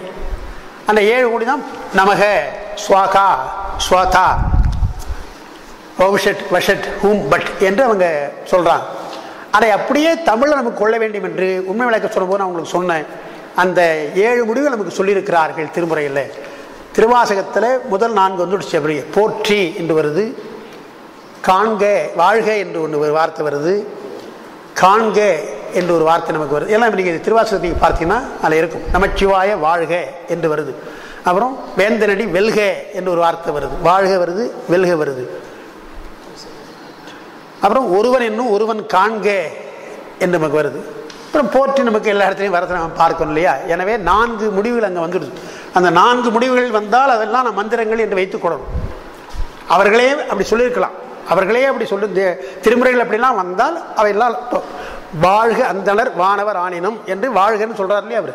அந்த மாதிரி வாழ்க என்பதும் ஒரு முடிவு. தமிழ் மந்திர முடிவு. இதெல்லாம் மந்திர முடிவு. அதனால தான் நம்ம வாழ்த்துற பொழுது வாழ்க என்று சொல்கிறது கிடையாது மந்திரமாக இருப்பதால் தான் நம்ம சொல்கிறோம் வாழ்க என்று நாம் சொல்கிறோம் வெல்க. போற்றி தான் முதல்ல. போற்றி வாழ்க வெல்க. அப்புறம் காண்க. இந்த நான்கும் திருவாசத்தில் இருக்குது. அதுக்கப்புறம் போலும் என்று ஒன்று தாமே என்று ஒன்று தோன்றும் என்று ஒன்று. இந்த மூன்றும் அப்பர் பெருமான் பாடுறார். போற்றி வாழ்க வெல்க காண்க என்ற நான்கு முடிவு தோலும் தோன்றும் போலும் தாமே என்பது இங்கே. இதுதான் சப்தகோடி முடிவு என்று இந்த ஏழு இங்கே வச்சிருக்காங்க நமக்கு. தமிழில் சொன்னால் இதை சொல்லணும். வடமொழியில் சொன்னால் என்ன சொல்லணும். ஏழு கோடி. அப்போ வாக்குகளில் ஐம்பத்தோரு எழுத்துக்களினாலே பல சொற்கள் இருந்தாலும் கூட அதை மந்திரமாக சொல்லியிருக்கிறாங்க என்பது. அதற்கு பின்னால் வேதம் ஆகமம் புராண சாத்திரங்கள். இதெல்லாம் நமக்கு எல்லாம் சொற்களால் அமைதனால இவற்றெல்லாம் நம்ம படிக்கணும் என்று சொன்னாங்க. இது அந்த சிவதத்துவம் என்கின்ற அந்த ஐந்து ஐந்தன் மூலமாக வர்றது. அது இல்லாமல் இன்னொன்று வருது. இன்னைக்கு சொன்ன உங்களுக்கு தத்துவம் என்று சொன்னால் கருவின்னு சொன்னேன் நமக்கு கருவியாக இருப்பது எது எது? நமக்கு கருவியாக இருப்பது எது எது? என்று சொன்னால் நம்முடைய உடல் நமக்கு கருவி அப்புறம் சொல் நமக்கு கருவி. உடலும் சொல்லும் நமக்கு கருவி. அந்த உடல் என்பதைத்தான் நமக்கு பொருள் என்று வைத்து இது பொருள் உலகம். பொருள் உலகம். சொல் என்று சொன்னால் அது சொல் உலகம். என்று பிரிச்சுட்டு இதில் இந்த சொல் இருக்கு இல்லையா? சொல் வந்து பொருளை குறிக்கும். என்ன பொருளை குறிக்கும் என்றால் உலகத்தில் உள்ள எல்லா பொருளையும் குறிக்கும். நாம் ந- நாம் பயன்படுத்துகிற எல்லா பொருளையும் குறிக்கும். ஆனால் எல்லா பொருளும் உடலுக்குத்தான். நீங்கள் காரில் போகிறோம் சாப்பிட்றோம் ஏசியில் உட்கார்ந்துருக்கிறோம் நல்ல காட்சியை பார்க்குறோம் எதுவாக இருக்கட்டும் எல்லாம் உடலுக்குத்தான். அல்லது மனைவி பக்கத்தில் கூட உட்காந்து பேசுகிறோம் அன்பாக பழகுறோம் குழந்தையை தூக்கி வச்சு கொஞ்சிறோம் எல்லாம் உடலுக்குத்தான். அப்போ சொல் பொருளை விளக்குகின்ற பொழுது உடலுக்கு உள்ள பொருள் என்றும் அப்புறம் உயிருக்கு எது பொருள்? அந்த உயிருக்கு உள்ள பொருள் தான் மென்னூல்கள் ஞான நூல்கள் கல்வி இதெல்லாம் உயிருக்குள்ள பொருள். எனவே இந்த சொல் என்பது உடலுக்குள்ளதாம் இருக்கிறது உயிருக்குள்ளதாகவும் இருக்குது. அப்போ உடல் எப்படி நிலையில்லாததோ அதுபோல் உடலை சார்ந்திருக்கிற பொருளையெல்லாம் நிலையிலான ஒதுக்கணும் பட்டினத்தார் மேக்சிமம் சொல்லிட்டார் அத்தமும் வாழ்வும் அகத்து மட்டே நீங்கள் எவ்வளோதான் சொல் பொருள் சேர்த்தாலும் வாழ்வு சேர்த்தாலும் அதெல்லாம் எங்கே? அதோட சரி வீட்டோட சரி அகத்து மட்டேனார் பெரிய பங்களாவில் கூட இருப்பான். என்னுடைய நண்பருடைய மனைவி அவங்களுக்கு வந்து சென்னையிலேயே ஒரு மூணு வீடு காஞ்சிபுரத்தில் ஒரு வீடு ஆனால் என்ன ஆச்சு? கடைசியில் எங்கேயுமே சொந்த வீட்டில் இருக்க முடியல. பிளாட்டில் இருந்தாங்க. என்னவோ காரணமாக பையன்லாம் அமெரிக்காவில் இருக்கிறான் பொண்ணு அமெரிக்காவில் எல்லாம் இருக்காங்க. கடைசியில் ஒரு சாதாரண ஒரு வீட்டில் அவங்க இருக்கிறதுனால அந்த ப பிளாட் என்ன சொல்லிட்டாங்க? பாடி எடுத்துடக்கூடாதுன்னு சொல்லிட்டாங்க. ஹாஸ்பிட்டலில் இருக்கிறாங்க எடுத்துடக்கூடாது அப்போ வெளியில் வைத்தினாங்க வெளியிலே வச்சு அப்படியே கிரிமேட் பண்ணாங்க எடுத்து கிரிமேட் பண்ணாங்க. என்றால் வாழ்க்கை இருந்து கூட இருக்கு ஒன்றும் இல்லைங்க வந்துட்டுமே. அத்தமும் வாழும் அகத்து மட்டே வீட்டோட முடிஞ்சு போச்சு ஒன்றும் கிடையாது. இறந்து போனால் ஒன்றும் இல்லை விழி அம்பு ஒழுக மெற்றிய மாதரும் வீதி மட்டேன்னு அழுது வருகின்ற மனைவியெல்லாம் வீட்டு வீதியோடு இருந்துவாங்க அதோடு முடிஞ்சு போச்சு. விம்மி விம்மி இரு கைத்தளம் மேல் வைத்து அழும் மைந்தரும் சுடுகாடு மட்டேனர். ரொம்ப அழுதுட்டே போவான். வாப்பா வாப்பான்ட்டு முன்னே போயிட்டே இருப்பான் இல்லையா? எங்கள் சுடுகாட்டுக்கு போயிடுறான் முதல்ல. பட்டு. பற்றி தொடரும் இவனை புண்ணிய பாவங்களே. உயிரோடு சேர்ந்து வருவது எது என்று சொன்னால் இதெல்லாம் கிடையாது. புண்ணிய பாவங்கள் தான் உயிரோடு சேர்ந்து வரும் என்று சொன்னால் அந்த புண்ணிய பாவங்களை பகுத்து சொல்வது எது? கல்வி. எனவே கல்வி தான் நமக்கு துணையாக வரும். அதனால தான் குபரோர் பாடினார் கல்வியின் ஊங்கு இல்லை சிற்றுயிர்க்கு உற்ற துணை. கல்வியின் ஊங்கு இல்லைன்னு. கல்வியை காட்டிலும் பெரிது கிடையாது. கல்வியின் ஊங்கு இல்லை. ஊங்குன்னா அதோட நத்திங் இஸ் பெட்டர் தேன் அப்படின்றோம் இல்லையா? அதுதான். ஊங்கு இல்லைன்னு அர்த்தம். அதை விட நத்தி நத்திங் எது கிடையாது.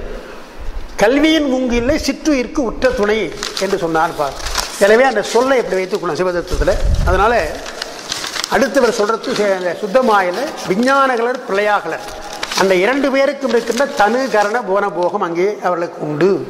தனுகரண புவன போகம் என்றால் நமக்கு தான் உடம்பு இல்லை. எல்லாருக்கும் அந்த உடம்பு இருக்குது எல்லாருக்கும் புவனம் இருக்குது. எனவே சுவசத்துவன்றதுல அது சுத்தமாயில் இருக்கின்ற அந்த விஞ்ஞானகளை என்ற ஒருமலம் உடையவர்கள் அவருக்கு தனுகரண புவன போகம் வரும் என்று சொன்னால் சிவதத்துவத்தின் மூலமாக வருகின்ற இரண்டு என்ன விஷயம்? ஒன்று சொல். அது நமக்கு சொல் ஒன்று அடுத்து தனுகரண புவன போகம். அந்த உடம்பு கருவிகள் அதுக்கு அந்த உலகம் சுத்தமாயா உலகம் எல்லாம் அவங்களுக்கு தான் வாக்கு என்பது நமக்கு இருக்கு இல்லையா? அது நமக்கும் வருகிறது. சுத்தமாயில அந்த பொருள் நமக்கு வராது. விஞ்ஞானங்களுக்கு இருக்கின்ற உடம்பு நமக்கு கிடையாது. அவங்க சூக்கும் உடம்பு. அது நமக்கு நினைச்சாலும் கிடையாது. ஆனால் அந்த வாக்கு நமக்கு வருகிறது. வித்தியாசம் என்ன? அங்கே சூக்குமையாக இருக்குது. நமக்கு வைகரியா இருக்கு. வெளிப்படையாக வருது. வெளி அதே வாக்கு தான் அதே வாக்கு கொஞ்சம் வெளிப்பட்டு சூக்குமாக இருப்பது தூலமாக நமக்கு வருகிறது என்று சொல்கிறார் எனவே அது சுத்தமாயை என்று வைத்துக்கொண்டு சிவதத்துவம் அது. அதுக்கடுத்து கலையாதி தோற்றம் என்றதான் அந்த பிள்ளையாகலருக்கும் சகலருக்கும் உரியதுன்னு இருக்குது அதை உங்களுக்கு விரிவாக நான் கொடுத்துருக்குறேன். அதில் நீங்கள் சொல்ல வேண்டியது என்னன்னு சொன்னால் அனந்த தேவர் என்றும் ருத்ர தேவர் என்றும் ரெண்டு பேர். அது உங்களுக்கு படித்தா வரும். அதை கொஞ்சம் புரிஞ்சிட்டா நல்லது. யார் என்றதை புரிஞ்சிட்டா நல்லது. அது மட்டும் சொல்லலாம்னு நினைக்கிறேன்.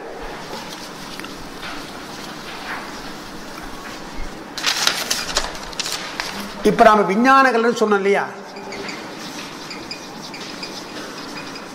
இந்த விஞ்ஞான கலரில் பக்குவர் அபக்குவர் என்று ரெண்டு பேர் ரெண்டா சொல்லுவான் எப்படி நம்ம ச நம்ம உலகத்தில் சகலர்களில் வந்து பக்குவாதிகள் இருக்காங்க பக்குவமில்லாக இருக்கிறாங்களோ அதுபோல் எல்லா இடத்துல இருக்கிற உயிர்கள்லாம் பக்குவ உடைய உயிர்கள் தான் அவக்குடைய ரெண்டும் இருக்குது ரெண்டும் இருக்குது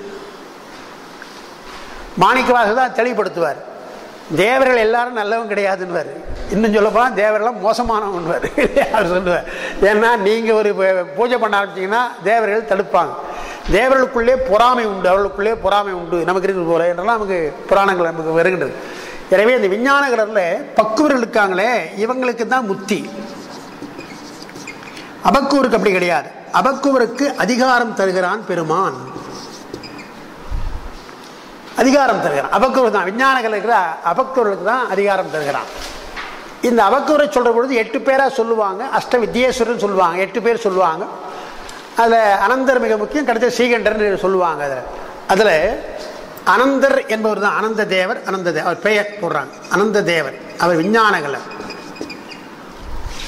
விஞ்ஞானகலர் அனந்த தேவர். அவர் என்ன செய்கிறார்? உங்களுக்கு இங்கே எழுதிக்கிறேன்.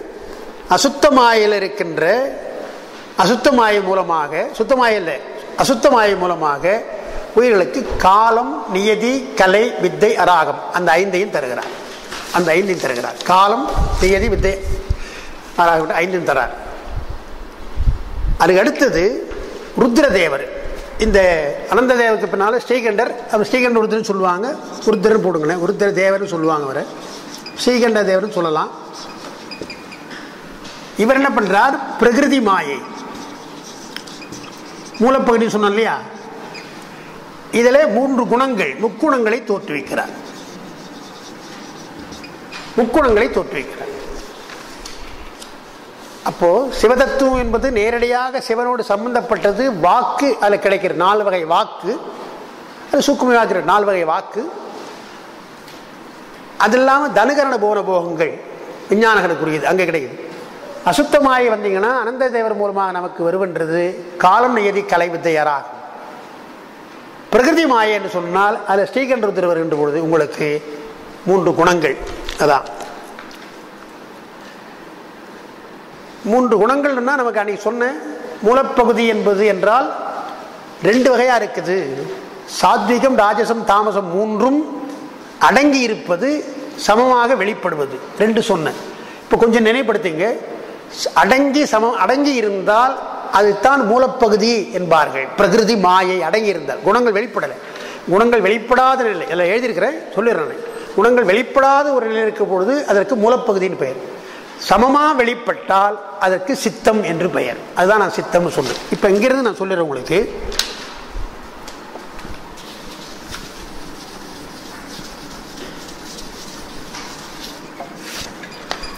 சமமாக மூலப்பகுதி நமக்கு தெரியும். இது மூன்று குணங்கள். முக்குணம். அடங்கிய நிலை இருக்கு இல்லையா? அடங்கிய நிலை மூலப்பகுதி. மூன்று குணமும் சமமாக வெளிப்பட்ட நிலை. சமமாக வெளிப்படும் நிலை. அதுதான் சித்தம்.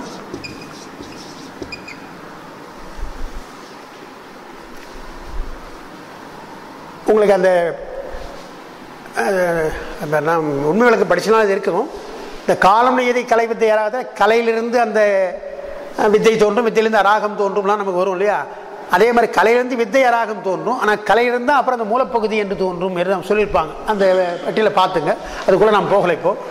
அதனால் அந்த மூலப்பகுதியோட சித்தம் ஒன்று இல்லையா சித்தம் என்பது சமமாக வெளிப்படும் நிலை.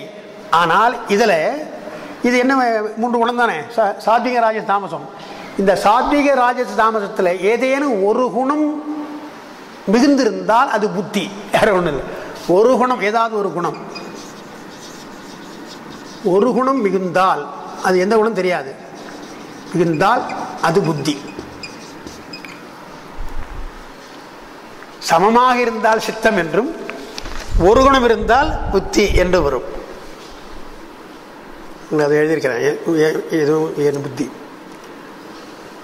அதுக்கப்புறம் புத்தியிலிருந்து அகங்காரம் தோன்றும். சித்தம். அப்போ என்னொன்று சொல்றீங்க சொல்லிடுறேன். சித்தம் புத்தின்றது என்ன சொன்னேன்? மூலப்பகுதியோடு சம்பந்தப்பட்டது தான் அது. மூலப்பகுதியில் சமமாக இருந்தால் அது சித்தம். ஒரு குணம் வெளிப்பட்டால் புத்தி. எனவே பு- சித்தமும் புத்தியும் மூலப்பகுதியோட சம்பந்தம் பிரகிருதியோட சம்பந்தப்பட்டது. இந்த புத்தியிலிருந்து வருகின்றது தான் அகங்காரம். அகங்காரம் இந்த அகங்காரம் மூன்று வகையாக சொல்லுவாங்க. தைஜஸ் அகங்காரம் தாமச அகங்காரம் பூதாதி அகங்காரம் என்றது மூன்றா சொல்லுவாங்க. இந்த வைகாரிகம் பூதாதி அகங்காரம் என்று மூன்றா சொல்லுவாங்க. அந்த மூன்று எல்லாம் எழுதியிருக்கேன் நான் வேகமாக போயிடுறேன். அதை என்னென்னு சொன்னால் தைஜச அகங்காரம்ன்றது தான் அறிவு. தைஜசம் என்றால் அறிவுன்னு அர்த்தம். வைகாரி என்றால் தொழில். பூதாதி என்றால் உருவம். நமக்கு அறிவு தொழில் உருவம். மூன்றாவது இந்த அகங்காரம் என்னென்ன வருது எந்த எப்படி எல்லாம் வருதுன்னு சொன்னால் அறிவு ஏதாவது ஒன்றை அறிய வேண்டும் என்கின்ற ஒரு எண்ணம் அறிவு தொழில் உருவம். மூன்றா வரும். மூன்றா வரத்தினால என்ன ஆகும்? இது தைஜசம் என்பார்கள். தைஜசம். இது வைகாரிகம். எல்லாம் பேர் இருக்குன்னு நீங்கள் எழுத வேணாம் நீங்கள் சும்மா பார்த்துங்க. வைகாரிகம் இது பூதாதி என்று எழுதுவாங்க அறிவு தொழில் உருவம் என்று மூன்று வகையா அந்த அகங்காரம் பிரியும். பிரிகிற பொழுது இது ஒரு இந்த குணங்கள் இந்த மூன்று குணம் இருக்கு இல்லையா? இந்த மூன்று குணம். இதில் அந்த குணங்கள் வர்ற பொழுது இந்த அறிவு என்பது சாத்வீகம். தொழில் என்றால் அது ராஜசம். உருவம் என்றால் அது தாமசம். அப்படி மூணாக பிரிஞ்சிடும் மூன்று குணங்கள் சமமாக இருந்தால் சித்தம் ஏதேனும் ஒரு குணம் வெளிப்பட்டால் அது புத்தி. அதிலிருந்து வருகின்ற அகங்காரம் மூன்றாக பிரிஞ்சு போது சாத்வீக அகங்காரம் என்றும் தா ராஜச அகங்காரம் என்றும் தாமச அகங்காரம் மூன்றாக பிரிஞ்சு போச்சு. மூன்றாக பிரிந்துகிற பொழுது அறிவு ஆகவும் சாத்வீக அகங்காரம் அறிவு ராஜச அகங்காரம் தொழில் தாமச அகங்காரம் உருவம். இப்படி வைத்துக்கொண்டு இப்போ என்ன ஆகிறது இந்த அறிவு என்பதாலே இங்கிருந்து அதாவது அகங்காரம். இந்த அகங்காரத்தை சாத்வீக அகங்காரம். அதிலிருந்து தோன்றுவது மனம். பிளஸ் ஞானேந்திரியம். ஞானேந்திரியம் நமக்கு தெரியும். ராஜச அகங்காரம் என்று சொல்ற பொழுது அங்க கண்மேந்திரியம் பூதாரி அகங்காரம் சொல்ற பொழுது இங்க தன்மாத்திரை அதிலிருந்து பூதங்கள். இதுதான் நமக்கு கருவிகளை பெருமான் தருகின்ற முறை.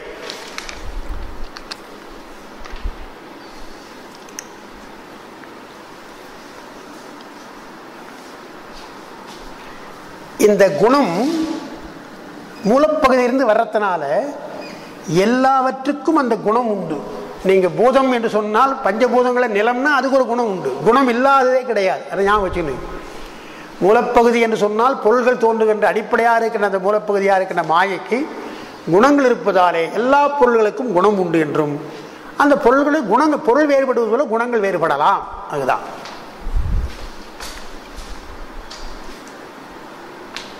அப்போது இதில் இந்த முப்பத்தாறு உங்களுக்கு இந்த இந்த இந்த வரிசையில் பார்த்தீங்கன்னா முப்பத்தாறு தத்துவம் நமக்கு தெரிஞ்சு போகும். நம்ம. அதாவது பூதங்கள் ஐந்து தன்மாத்திரை ஐந்து பத்து கர்மேந்திர ஐந்து ஐ- பதினைந்து இது ஒரு ஐந்து இருபதாச்சு மனம் ஒன்று அகங்காரம் புத்தி சித்தம். அந்த கரணங்கள் நான்கு இருபத்தி நான்கு ஆச்சு. அப்புறம் காலம் நீதி கலை வித்தையாளாகின்ற வித்தை அது வித்யா தத்துவம் ஏழு சிவ தத்துவம் ஐந்து முப்பத்தாறு தத்துவங்கள் என்று சொல்லி இதுதான் சகல நிலையிலே நமக்கு உள்ளது. இருளாம் வெளியேது என்று சொன்னால் இல்லையா?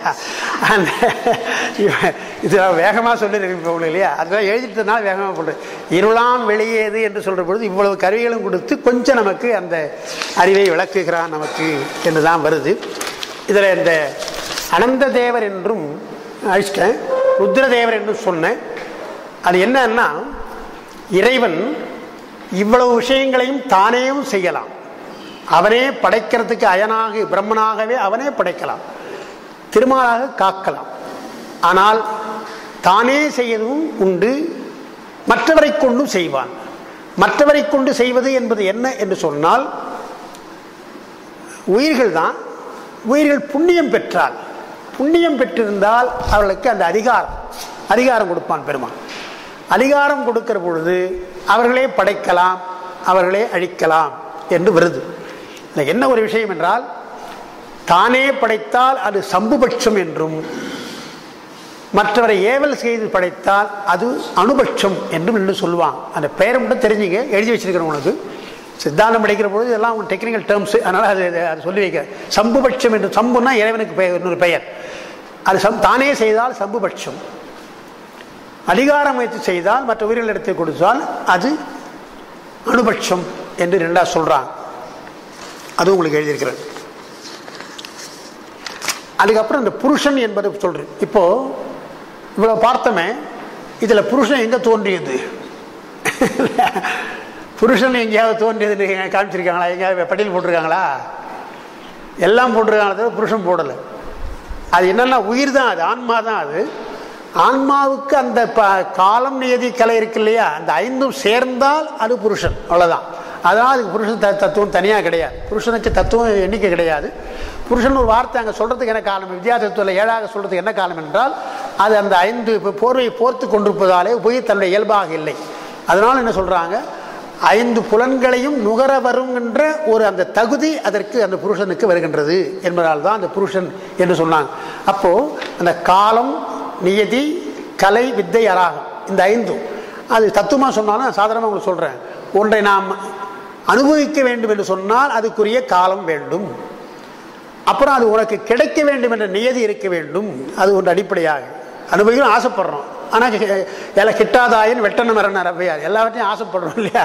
ஆனால் என்ன பண்ணுறது காலம் நமக்கு கனிய வேண்டும். நியதி உங்களுக்கு வர வேண்டும் என்று இருந்தால்தான் அது வரும். எனவே அது நியதி என்று சொன்னார். அதுக்கப்புறம் கலை என்று சொன்னால் அறிவு. அதை அனுபவிக்கின்ற அறிவு உனக்கு முதல்ல வேணும் இல்லையா? ஒன்று. அதுதான் நாலடியார் ஒரு பாட்டு உண்டு. நாய் பெற்ற தெங்கும் பழம்னுவாங்க பொருள் வச்சுட்டுப்பான் சில பேர். தானும் கொடுக்க சாப்பிட மாட்டான் மற்றவனும் கொடுக்க மாட்டான். எது போல நாய் பெற்ற தெங்கும் பழம் தெங்கும் பழம்னா என்ன அர்த்தம்னா தேங்காய் உடைக்கார தேங்காய்னு அர்த்தம். உடைக்கார தேங்காய் இருக்குது அதை நாய் உருட்டிகிட்டே இருக்குமே தவிர அதுவும் சாப்பிட போகிறது கிடையாது. கிட்ட போய் எடுக்கணும்னா ஒன்று பார்த்தா குறைக்க ஆரம்பிச்சோம் இல்லையா? குறைக்க ஆரம்பிக்கும். வைக்கப்பொருளை நாய் படுத்தா மாதிரி ஒரு பழமொழி உண்டு. வைக்கப்பூரில் நாய் படுத்து தூங்கும். அந்த நேரத்துக்கு என்ன வைக்கல அது சாப்பிடாது. ஆனால் படுத்து தூங்குது. அந்த நேரத்துக்கு பசு போய் சாப்பிட போகுது மாடு போய் சாப்பிட அவ ஒன்று கத்துது. அது அது நினச்சிது தானும் சாப்பிட்றது கிடையாது பசுவும் சாப்பிட விடுறது கிடையாது என்று சொல்லுவாங்க. அந்த மாதிரி அனுபவிக்கிற அறிவு என்பது நமக்கு தேவை. கலை ஆமாம் செயல் செயல் தேவை. அனுபவிக்கிறது செயல் வேண்டும். அப்புறம் வித்தை அறிவு நமக்கு தேவை. அராகம் என்றால் விருப்பம். அதில் ஒரு விருப்பம் இருக்கணும். விருப்பம் இருந்தால்தான் நமக்கு அது பதியும் என்று. இதெல்லாம் சொல்கிறதுனால தான் அதை புருஷன் என்று அனுபவிக்கிறவர்களுக்கு புருஷன் என்று சொன்னாங்க. அது தனியாக தத்துவமாக தோற்றத்திலும் சொல்வது கிடையாது ஒடுக்கத்திலும் சொல்வது கிடையாது. ஒடுக்கத்தை பற்றி சொல்கிற பொழுது இதெல்லாம் எங்கெங்கே ஒடுங்கும் என்று சொல்கிற பொழுது வித்தியாசத்துவம் சொல்கிற பொழுது புருஷனை விட்டுட்டு மற்ற ஆறும் வித்தையில் ஒடுங்கும் என்று சொல்லுவான். வித்தையில் ஒடுங்குகிறது என்று அவங்க சொல்கிற வழக்கு உண்டு. எனவே புருஷனுக்கு தனி தத்துவம் இல்லை என்று பார்க்கும் சரி. அதுக்கப்புறம் இன்னொரு ஒரே செய்தி. படிக்கிற பொழுது உங்களுக்கு வரலாம். எப்படி சொன்னாங்கன்னு தெரியல. சில பேர் சொல்லக்கூடிய இங்கேயும் பல பேர் வந்து சொல்கிறாங்க நீங்களும் படிக்கலாம். அன்றைக்கி நான் சொன்னேன். மும்மலம் நெல்லினுக்கு முளை த தவிடு உமி போல என்ற ஒரு வார்த்தை நான் சொன்னேன். அதாவது நமக்கு உயிருக்கு கிடைக்கின்ற அந்த மூன்று மலங்கள் இருக்கிறது ஆணவம் கர்மம் மாயை எது போல என்று சொன்னால் கண்மம் விதை போலன்னு சொன்னேன் நான் மும்மலம் முளைக்கின்ற நெல் போல என்று நான் சொன்னேன். அதுக்கு என்ன உதாரணம் சொன்னோம்னா முளைக்கின்ற சக்தி இருக்கு இல்லையா நெல்லில் அதுதான் கண்மம். அப்புறம் தவிடு இருக்கு இல்லையா அதுதான் மாயை. உமி இருக்கு இல்லையா அது ஆணவம். என்று சொன்னேன். இதில் ஒரு கருத்து வேறுபாடு இருக்கிறது. அதையும் நான் குறிச்சிருக்கிறேன் அதில் பார்க்கலாம் நமக்கு ஆத்தன்டிக்காக இருக்கிற புக்கு ஞானாமிரதம் போன்றவற்றெல்லாம் இல்லை. அந்த மாற்றம் கிடையாது. ஒரு தனிப்பாடலை ஒருத்தர் எடுத்து உரையாசி எடுத்து காண்பித்து அவர் என்ன பண்ணார் உழைத்த சக்தியாக இருப்பது கண்மம் தான். அதில் ஒன்றும் சந்தேகம் கிடையாது. ஆணவம் மாய இருக்கு இல்லையா? தவிடு உமி என்று சொல்கிறதுல ஆணவம் என்பது நமக்கு சொல்கிற பொழுது உமின்னு சொல்கிறோம் ஆனால் அவர் அது தவிடுன்றார். ஆணவத்தை தவிடு தவிடு போல என்று சொல்கிறார் மாயை வந்து உமி போல என்று ஒரு கருத்து இருக்குது. அந்த கருத்து வேறுபாட்டை உங்களுக்கு எழுதியிருக்கிறேன். அதையும் நீங்கள் அது பாருங்க பின்னால். அதுக்கடுத்து உடம்பு. உடம்பு இருக்கு இல்லையா? அந்த உடம்பு முத்தியில வருகின்ற பொழுது உடம்பு தேவை என்று சில பேர் சொல்றாங்க. உடம்பு வேண்டாம் என்று சில பேர் சொல்றாங்க. தூள உடம்போடு முத்தி அடைய முடியாது நமக்கு. அதனால தான் சுந்தருக்கு சொல்ற பொழுது அந்த அந்த உடம்போடு கலையா உடம்போடு சென்றான் என்று நமக்கு வருது. பெருமான் கலையார உடம்போடு அவரை கூப்பிட்டான் என்பது ஒரு பெரிய பெருமை அவருக்கு அப்புறம் அங்கே போய் அவருக்கு ஜோதியாக போனார்றது வேற விஷயம் வேற சூக்கும் உடம்பு அவருக்கு வந்தது வேற விஷயம். ஆனால் இந்த உடம்போடே அவருக்கு அந்த கைலாயத்துக்கு சென்றிருக்கிறார் என்று நாம் பார்க்கிறோம். ஆனால் இந்த உடம்பு முத்திக்கு நமக்கு பயன்படாது என்பது அடிப்படை. ஆனால் அது கருத்து வேறுபாடு என்னன்னு சொன்னால் இந்த உடம்பு பயன்படாது சூக்கும் உடம்பு இருக்கலாம் என்று சொல்கிறாங்க நம்மை பொறுத்து சைவ சித்தாந்தம் முத்தி நிலையிலே உடம்பு என்பது எதுவே? உடம்பு என்று சொன்னால் அங்கே ஆணவம் கொஞ்சம் இருக்கும் மாயை இருக்குது. உடம்புனா எதுவாக இருந்தாலும் மாயை தான் இருக்குது அது இன்னும் அசுத்தமாக இருக்கலாம் சுத்தமாக இருக்கலாம். மாயை இருக்குது. மாயை இருந்தால் கண்ம நிச்சயமாக நமக்கு உடம்பு இருந்தால் கண்மம் செயல் செய்ய வேண்டியதாக இருக்குது அதனால் ஆணவம் போகாது. எனவே ஆணவம் கண்மும் மாயம் மூன்றும் இருப்பது உடம்பு. எனவே அந்த எந்த சூக்கும் உடம்பிலும் கிடையாது. உச்சியில் உடம்பு கிடையாது என்பதுதான் நமக்கு விளக்கம். திருவள்ளுவர் அதை அழகாக சொல்லிட்டார். அதாவது மற்றும் அன்னைக்கு எழுதினேன் மற்றும் தொடர்பாடு எவன்களோ பிறப்பிறக்கள் உற்றார்க்கு உடம்பு மிகை என்று எழுதுகிறார் உடம்பு மிகை என்று எழுதுறதுனால பரிமேழக உரைன்னு எழுதுகிறார் உடம்பு என்று சொன்னால் சூக்கம் உடம்பு அடங்கும் என்று எழுதுறார். அப்போ அதுவும் கிடையாது. உத்தியில் அதுவும் கிடையாது என்று அவர் சொல்கிறார் அதனால் இதெல்லாம் அந்த சகல நிலைக்கு உள்ள விஷயங்கள். ஆ பிறப்பிறக்கள் உற்றார். ஆ மற்றும் தொடர்பாடு எவன்களோ நான் எழுதுனேன். மற்றும் தொடர்பாடு எவன்களோ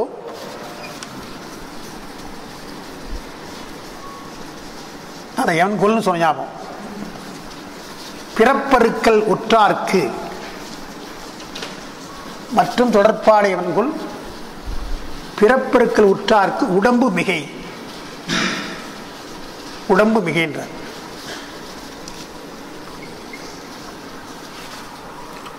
சரி.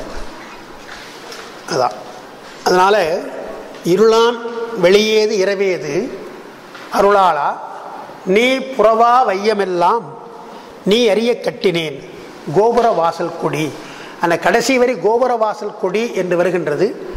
அன்னைக்கு கொடி தத்துவத்தை நான் சொன்னலையா அப்படியே நாம் ஞாபகம் வச்சுங்க. கோபுரம் வாசல் கொடி என்று மூன்றாவது சொல்கின்றார்.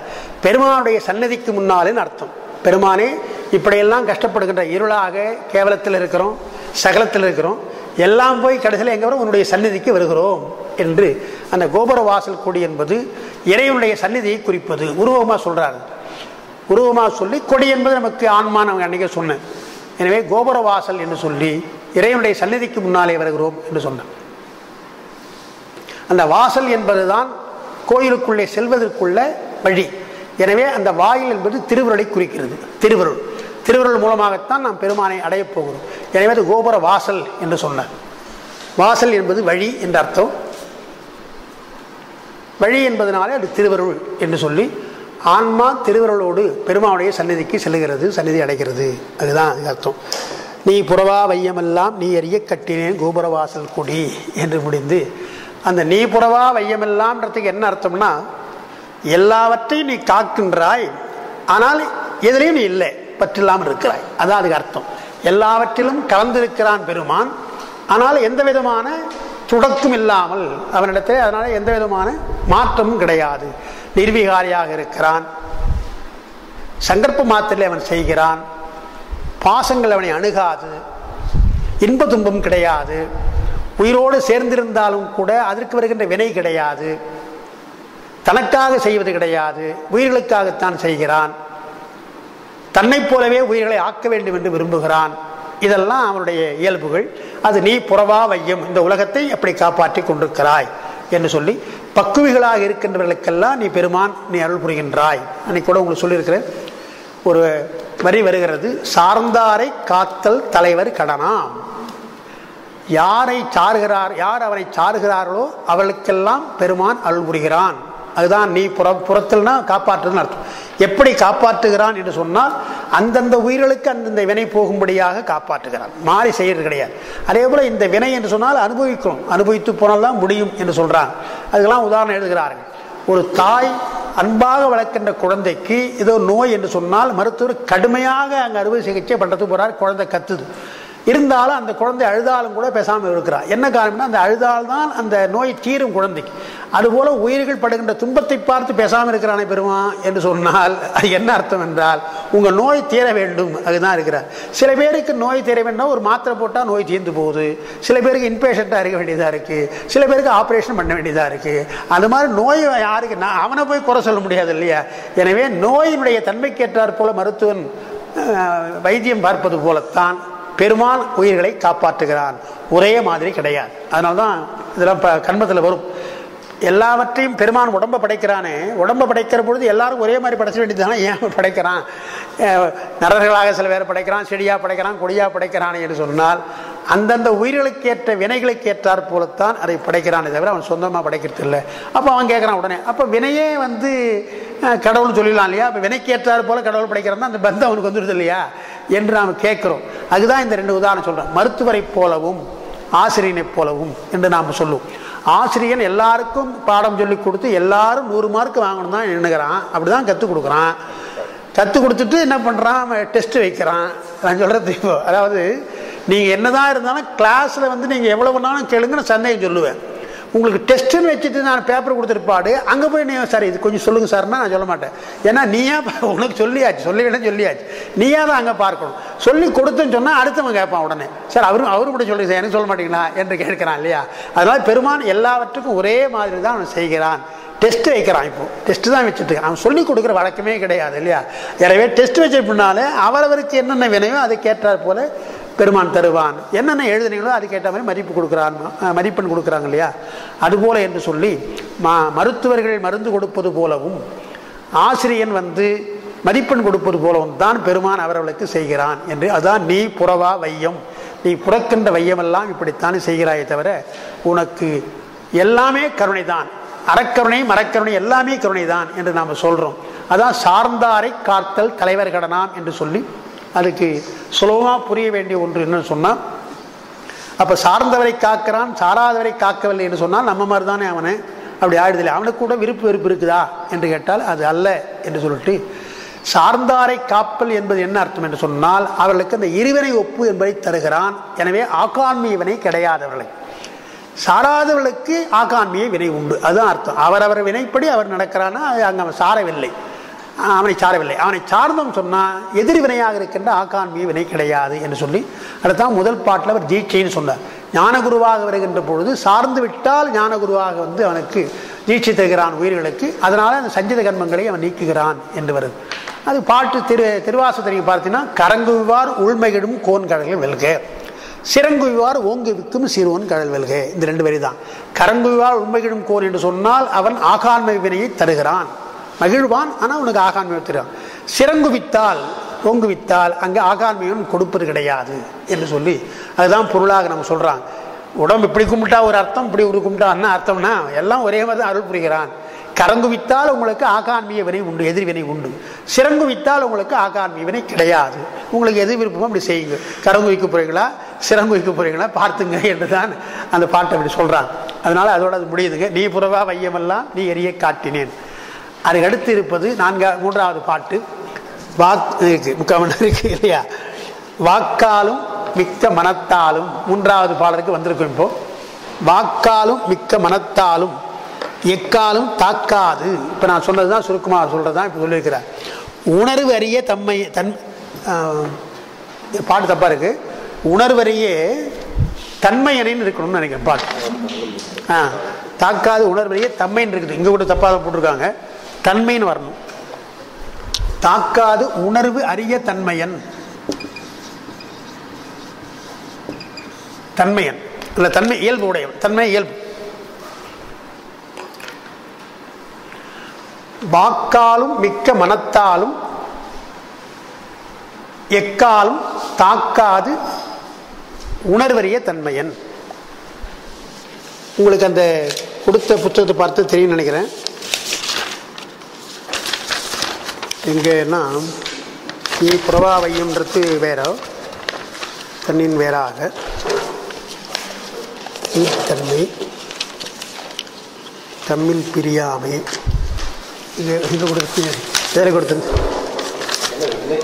ஆ, ஏதாவது அன்னி அன்னை கொடுத்தது ஒன்று இருக்கும். பழசா ஒன்று கொடுத்ததில் பாடல் மூ ஆ அது இருக்கு.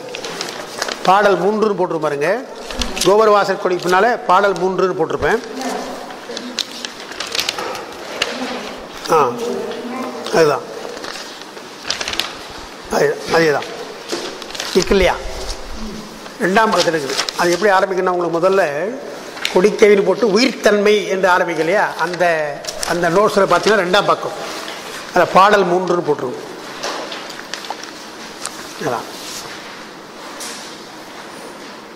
வாக்கு மனத்திற்கு அப்பாற்பட்டவன். அதுதான் முதல்ல நம்ம சொல்ல வேண்டியது. வாக்கு மனம் இரண்டிற்கும் அப்பாற்பட்டவன்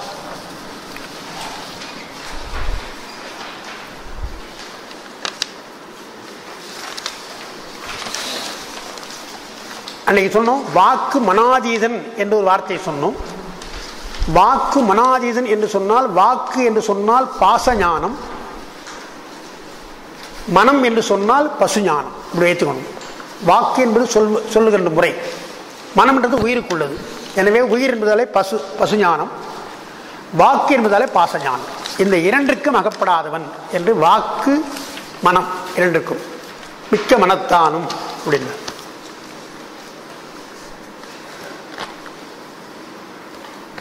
அதுக்கு சித்தியார ஒரு பாட்டு இருக்குது அதான் சரியான பாட்டு. எல்லாருமே அதான் எடுத்துக்காட்டு சொல்லுவாங்க. மறையினால் அயனால் அவங்க எழுதியிருக்கிறேன் மறையினால் அயனால் மாலால். மறை அயன் மால். அப்புறம் மற்றுள்ள அளவைகள் பாட்டில் அப்படி வருது. அளவைகளாலும் அறிவுண்ணாதவன் என்றெல்லாம் வரும். அந்த சுருக்கமாக நீங்கள் பார்த்தீங்கன்னா அடுத்த பகுதியில் இருக்கு பாருங்க. மறை. அது வாக்கு. வாக்கும் சடம்தான். அது சுத்தமாக அதுவும் சடம்தான் அறிவு பொருளுடைய சடம் தான் அது. திருவாசகத்தில் அதனால தான் வாக்கினால் அறிய முடியாதுன்றதுக்காக தான் வேதங்கள் ஐயா என ஓங்கி ஆழ்ந்தகன்ற நுண்ணியன் என்று. வேதங்கள் என்று சொன்னதுக்கு இப்போ நாம் சொன்ன ஆன்ம வேதம் சொல்கிறோம் பொதுவாக பார்த்தீங்கன்னா வாக்கினாலே அவன் அறிய முடியாதவன் என்பதைத்தான் வேதங்கள் என்ற வார்த்தை வருகின்றது. வேதங்கள் ஐயா என்று சொன்னால் ஏதோ நான்கு மறைமுட்டு அவர் சொல்கிறாரு அப்போ நம்முடைய நாம் சொல்லுகின்ற வாக்கினால் தமிழ் வாக்கில் அறிஞ்சிருவானா அப்படின்னு சொல்ல வேண்டியதில்லை. வேதங்கள்னா வாக்குகள்னு அர்த்தம். அது தமிழ் வாக்காக இருந்தாலும் சரி எந்த வாக்காக இருந்தாலும் சரி அதனால் அறிய முடியாதவன் என்று போல சொன்னார். அதுதான் இன்னும் எழுதியிருக்கிறேன். பாடுவன நால்வேதம் அப்புறம் நால்வேதத்திற்கு அப்பால் நின்ற தன்மையன் என்றெல்லாம் நமக்கு திருவாசு தேவாரத்தில் வருது இல்லையா? எனவே வேதத்தால் அறியப்படாதவன் என்பதைத்தான் அடிமுடி தேடுகின்ற பொழுது அயன் தேடினான் என்று சொல்றதுக்கு அதான் காரணம். அயன் தேடுகிறான் என்று சொன்னால் பிரம்மா அவன் வேதத்துக்கு அவன் பேரே வேதான்னு பேர் அவனுக்கு. வேதன் என்று ஒரு சொல் உள்ளவனுக்கு வேதங்களால் அறிய முடியாது என்பது தான் அயன் தேடியும் கூட கிடைக்க முடியாது போய்விட்டது என்று பார்க்கணும் அதுக்கடுத்து மால் திருமால். திருமால் என்கிற பொழுது சாதாரணமாக என்ன சொல்லுவாங்க? அடிமுடி திட்டத்தில் அயன் கல்விக்கு அதிபதி திருமால் செல்வத்துக்கு அதிபதி. எனவே கல்வியாலும் செல்வத்தாலும் அடைய முடியாதவன் என்று அப்படி சாதாரணமாக அப்படி சொல்லுவாங்க. கல்வியாலும் செல்வத்தாலும் அடைய முடியாதவன். அது பொருந்தாது. அது சாதாரணமாக புரியறதுக்காக சொல்கிற விஷயம். மால் என்று சொன்னால் அங்கே மயக்கம் அர்த்தம் மயக்கத்தை தருவது மாயைன்னு அர்த்தம். மாயா காரியங்களினாலே வாக்கு என்பது சுத்த மாயை. அதனால தான் அது மால் போடுறது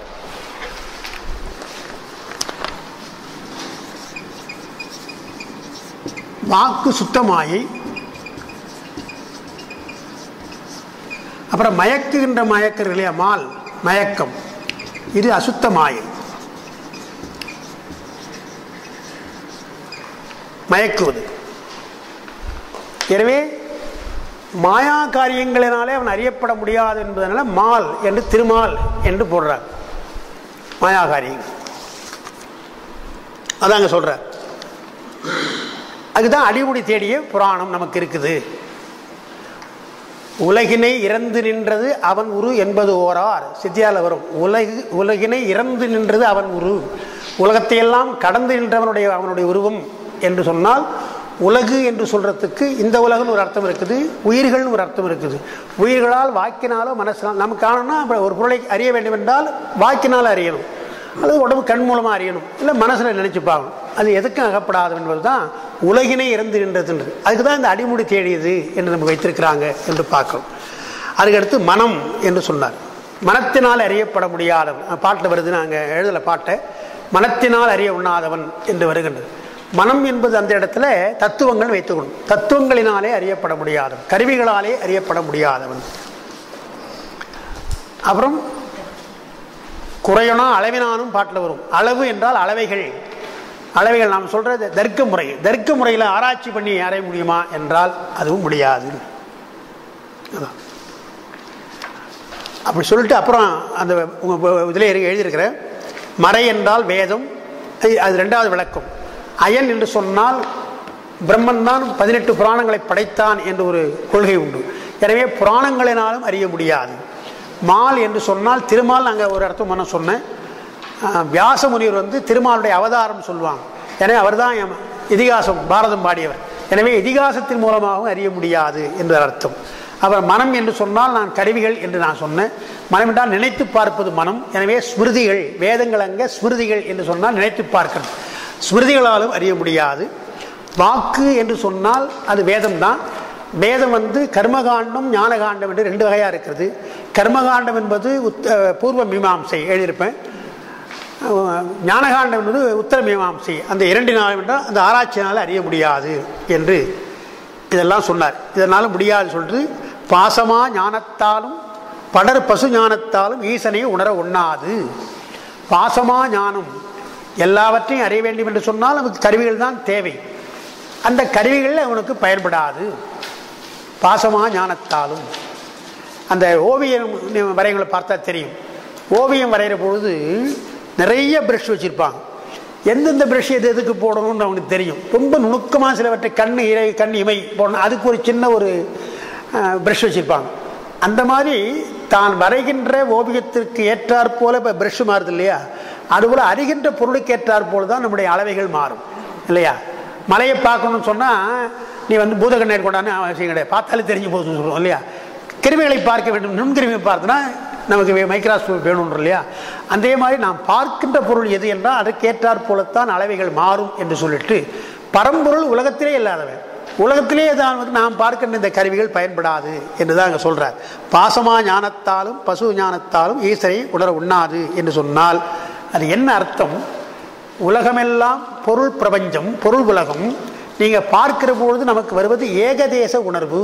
வாக்கு என்று சொன்னால் ஏகதேசமாக தான் தெரியுமே தவிர வியாபகமாக தெரியாது. அப்படின்னா என்ன அர்த்தம்? ஏதாவது ஒரு பொருளை பற்றி தான் நான் பேச முடியும். அதுவே நான் வந்து நோட்ஸ் கொடுத்துட்டு எழுதி பேசினா தான் உங்களுக்கு புரியுது. ஏகதேசம் என்று சொன்னால் ஒரே விஷயத்தை ஒரு ஒன்று தான் அதுக்கப்புறம் அப்புறம் விளங்கினா அப்புறம் இன்னொரு பொருளுக்கு போகணும் அப்போ எல்லாவற்றையும் ஏகதேசமாகத்தான் நாம் அறிகிறோம் என்று சொன்னால் இறைவன் வியாபகப் பொருள். வியாபகப் பொருளை பார்ப்பதற்கு நமக்கு ஏகதேச ஞானம் போதாது கருவிகள் ஞானம் போதாது. அதனால தான் இறைவனை உண்ண முடியாதுன்றார். அது ஒன்று. அதுக்கப்புறம் எல்லாம் தெரிந்து கொண்ட பின்னாலே சரி இதனாலே அறிய முடியாது என்று வருவது ஒரு நிலை ஒரு ஒரு பக்கம் வரும். நாம் பார்க்கின்ற கருவிகளாலே அறிய முடியாது பெருமானை என்று சொல்லிட்டு நம்முடைய அப்பர் பெருமான் பாடுகிற பொழுது என்ன சொல்றார்?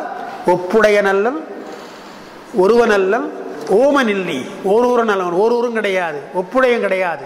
இப்படியன் இந்நிறத்தன் இவ்வண்ணத்தன் என்று எழுதி காட்டுனாதே. கிளீனாக சொல்லிட்டார் இது மாதிரி இருக்கிறான் அவரே சொல்கிறார் இப்படியும் இப்படி இருக்கிறான் என்று சொன்னால் இது போல நிறத்தில் இருக்கிறான் இது போல உயரமாக இருக்கிறான் குள்ளமாக எதுவும் சொல்ல முடியாது. இப்படியன் இந்நிறத்தன் இவ்வண்ணத்தன் என்று இ- இவன் இறைவன் என்று எழுதி காட்டுனாதே என்று அவர் சொல்லிட்டார். அப்போ எழுதி காட்டுனாதேன்றது என்ன அர்த்தம் உரை எழுதுகிறாங்க இவன் தான் இறைவன் எழுதி காட்டுறது. எக்ஸ்பிளைன் பண்ணுறாங்களே அதில் எக்ஸ்பிளைன் அது பண்ணுறது அது எழுதி காட்டுது.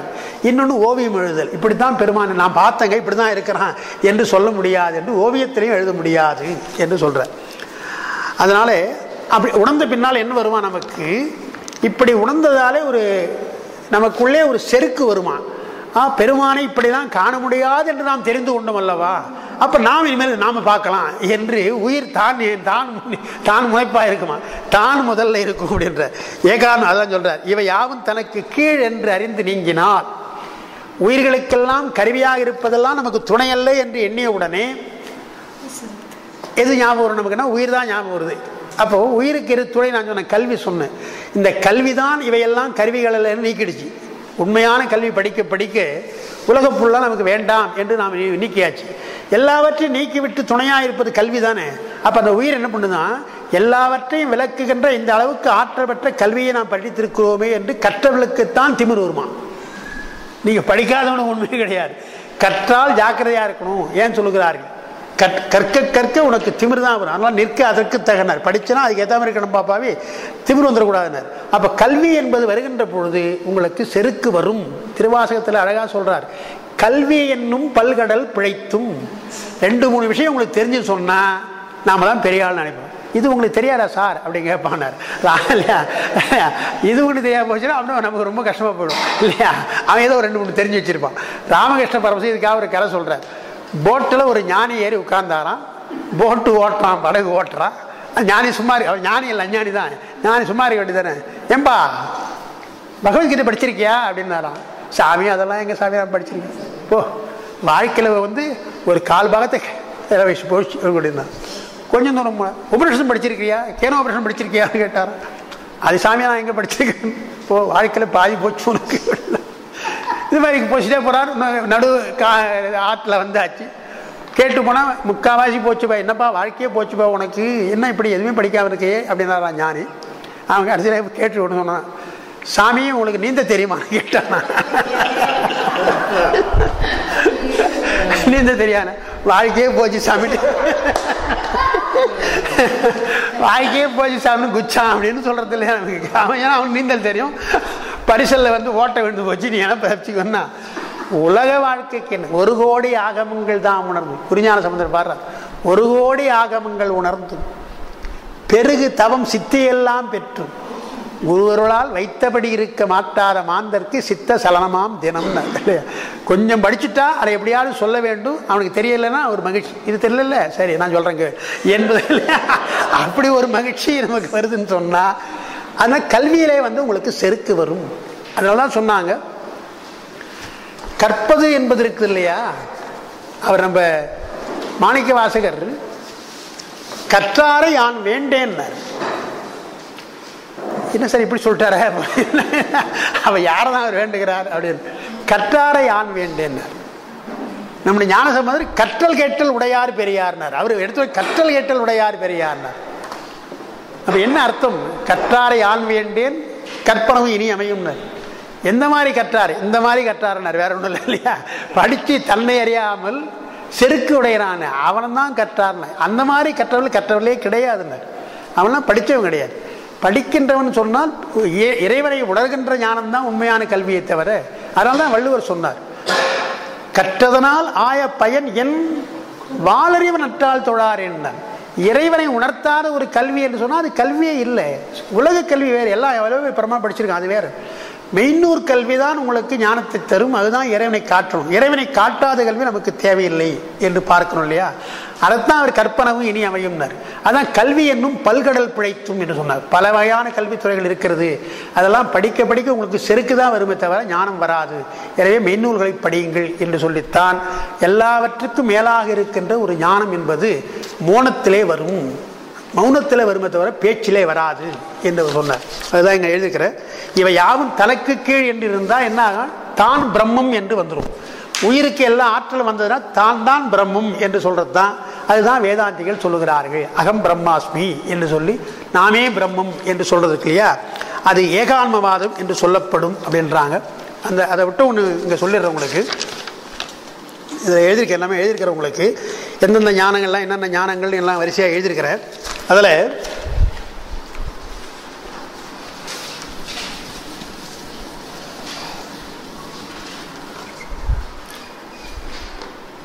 அந்த பிரம்ம ஞானம் என்று இருக்கு இல்லையா? பிரம்மம் அது பிரம்ம ஞானம் தான் இந்த பிரம்ம ஞானம் என்று சொன்னால் அது வேதாந்த முறை. நாம சொல்றது சிவஞானம் சொல்லுவோம். ஞானம்லாம் ஒண்ணுதான். ஆனால் நான் பிரம்மம் என்று சொன்னால் அது பிரம்ம ஞானம். நானே பிரம்மம் என்று சொல்றது. கடவுள் இல்லை என்று சொல்லலாம் தப்பே கிடையாது. நான் கடவுள்னா அது ரொம்ப தப்பு. கடவுள் இல்லைன்னு தப்பு கிடையாது. அது அவனுக்கு அறியாமல் சொல்றான் பாவம். நான் தான் கடவுள்னு சொன்னால் அது திமிரில் சொல்றான்னு அர்த்தம். அதை முதல்ல நீக்கணும். இல்லையா? அதைத்தான் அகம்பாவம் என்பார்கள். ரொம்ப அகம்பாவம் முடிச்சுட்டாங்க அகம் என்று பாவித்தல் அதான் அகம்பாவம். அகம் என்று பாவித்தல். நான் தான் என்று பாவித்தல். அது அகம்பாவம். அதனால தமிழ் என்ன பண்ணிட்டாங்க? அவன் ரொம்ப அகம்பாவம் முடிச்சுவேன் என்று சொன்னால் அது கூடாதுன்னு அர்த்தம். அது கூடாதுன்னு அர்த்தம். அகம் பிரம்மாஸ்மி என்று சொன்னான் ஒரு சின்ன விஷயம் சொல்லிட்டு போயிடுறேன். ஏன்னா அது விரிவாக சொல்ல வேண்டியது. என்ன பண்ணிட்டாங்க? ஏன் இதை எடுக்கிறாங்கன்னா தத் துவம் அசி என்று வருது. இதான் அந்த மகா வாக்கின்னு சொல்லுவாங்க. தத் துவம் அசி என்று தத் என்றால் அது என்ற அர்த்தம் துவம் என்றால் நீ என்ற அர்த்தம் அசி என்றால் ஆகிறாய் என்ற அர்த்தம். நீ அது ஆகிறாய். நீ அது ஆகிறாய் என்று வருது.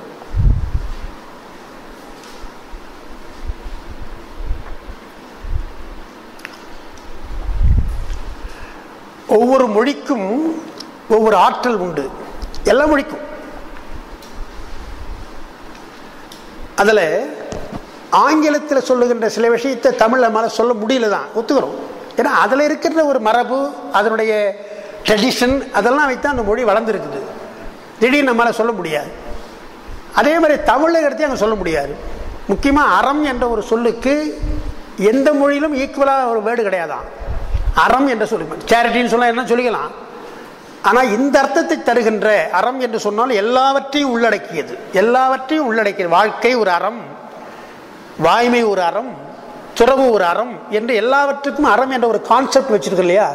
அந்த மாதிரி கான்செப்ட் எல்லாம் அடக்கி இருக்கின்ற ஒரு சொல் எந்த மொழியிலும் கிடையாது என்று சொல்கிறாங்க அது ஒவ்வொரு மொழிக்கு உள்ள ஒரு இயல்பு. அதுபோல் நமக்கு தமிழ் என்னன்னு சொன்னால் இதை தத் என்றால் அது நீ ஆகிறாய். இந்த ஆகிறாய் என்று வந்தால் அது செயற்கை.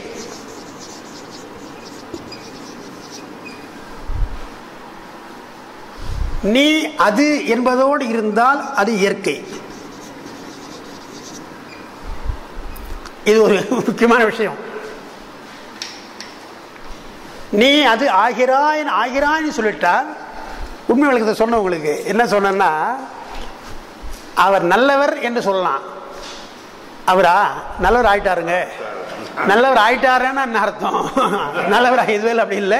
இப்போதான் நல்லவர் ஆனார்னு அர்த்தம். அவர் நல்லவர் ஆனார். இலக்கணத்தினால உண்டு. அதை கடுகெண்ணெய் பூசியதால் மயிர் நல்ல ஆயின முடிக்கு அந்த காலத்தில் ஒரு எண்ணெய் போடுவானா அந்த எண்ணெய் போடனா கருப்பா போச்சு மயிர் என்று கருமையாயின. என்றால் கருப்பால கருப்பாக ஆகுன்றது. ஆகின்றது என்று சொன்னால் செயற்கை. இலக்கணம் தமிழ் மொழி நம்முடைய மொழிக்கு உள்ளது?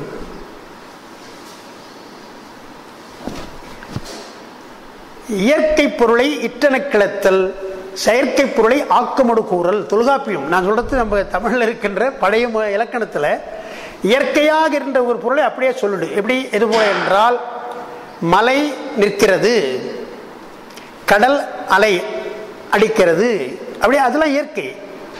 அப்படியே இருக்குது நான் இயற்கையாக சொல்கிறோம் அப்படியே. நெருப்பு அது சுடும். இதெல்லாம் இயற்கையாக சொல்கிறது இப்போ சொல்கிறேன் ஆக்குதல் என்று சொல்லுகின்ற பொழுது தண்ணீர் சூடு ஆயிற்று அரிசி சோறு ஆயிற்று. அரிசி வேறு தான் அது சோறானா அது செயற்கை. அரிசியே சோறு கிடையாது. சோறு ஆயிற்று அப்போ ஆயிற்று என்று வருகின்ற பொழுது அது செயற்கை. அது ஏன் அப்படி சொல்கிறேன்னு சொன்னால் நமக்கு ஒரு பாட்டு திருவாசகத்தில் முத்தி அடியாதில் சித்தமலம் அறிவித்து சிவமாக்கி என ஆண்டன் வருது. சிவமாக்கி என ஆண்டன் சொன்னா என்ன அர்த்தம்? நான் சிவம் அல்ல என்னை சிவம் போல ஆக்கினான். தன்னை போலவே அவன் ஆக்கினான். அப்பனா நான் அவன் அல்ல. அதான் அர்த்தம். அப்ப சிவமாக்கி என்று சொல்ற பொழுது உயிர் சிவமாக ஆதல் சிவமாதல்.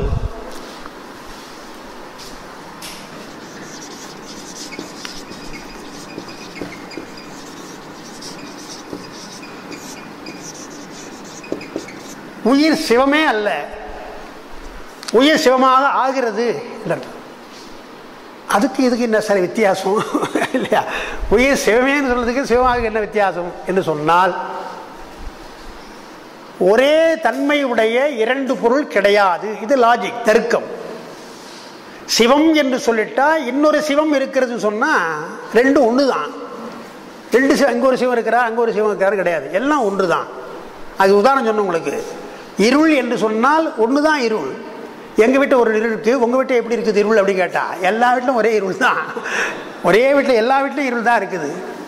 அதுபோல சிவம் என்றது ஒரே தன்மையுடைய வியாபக பொருள்.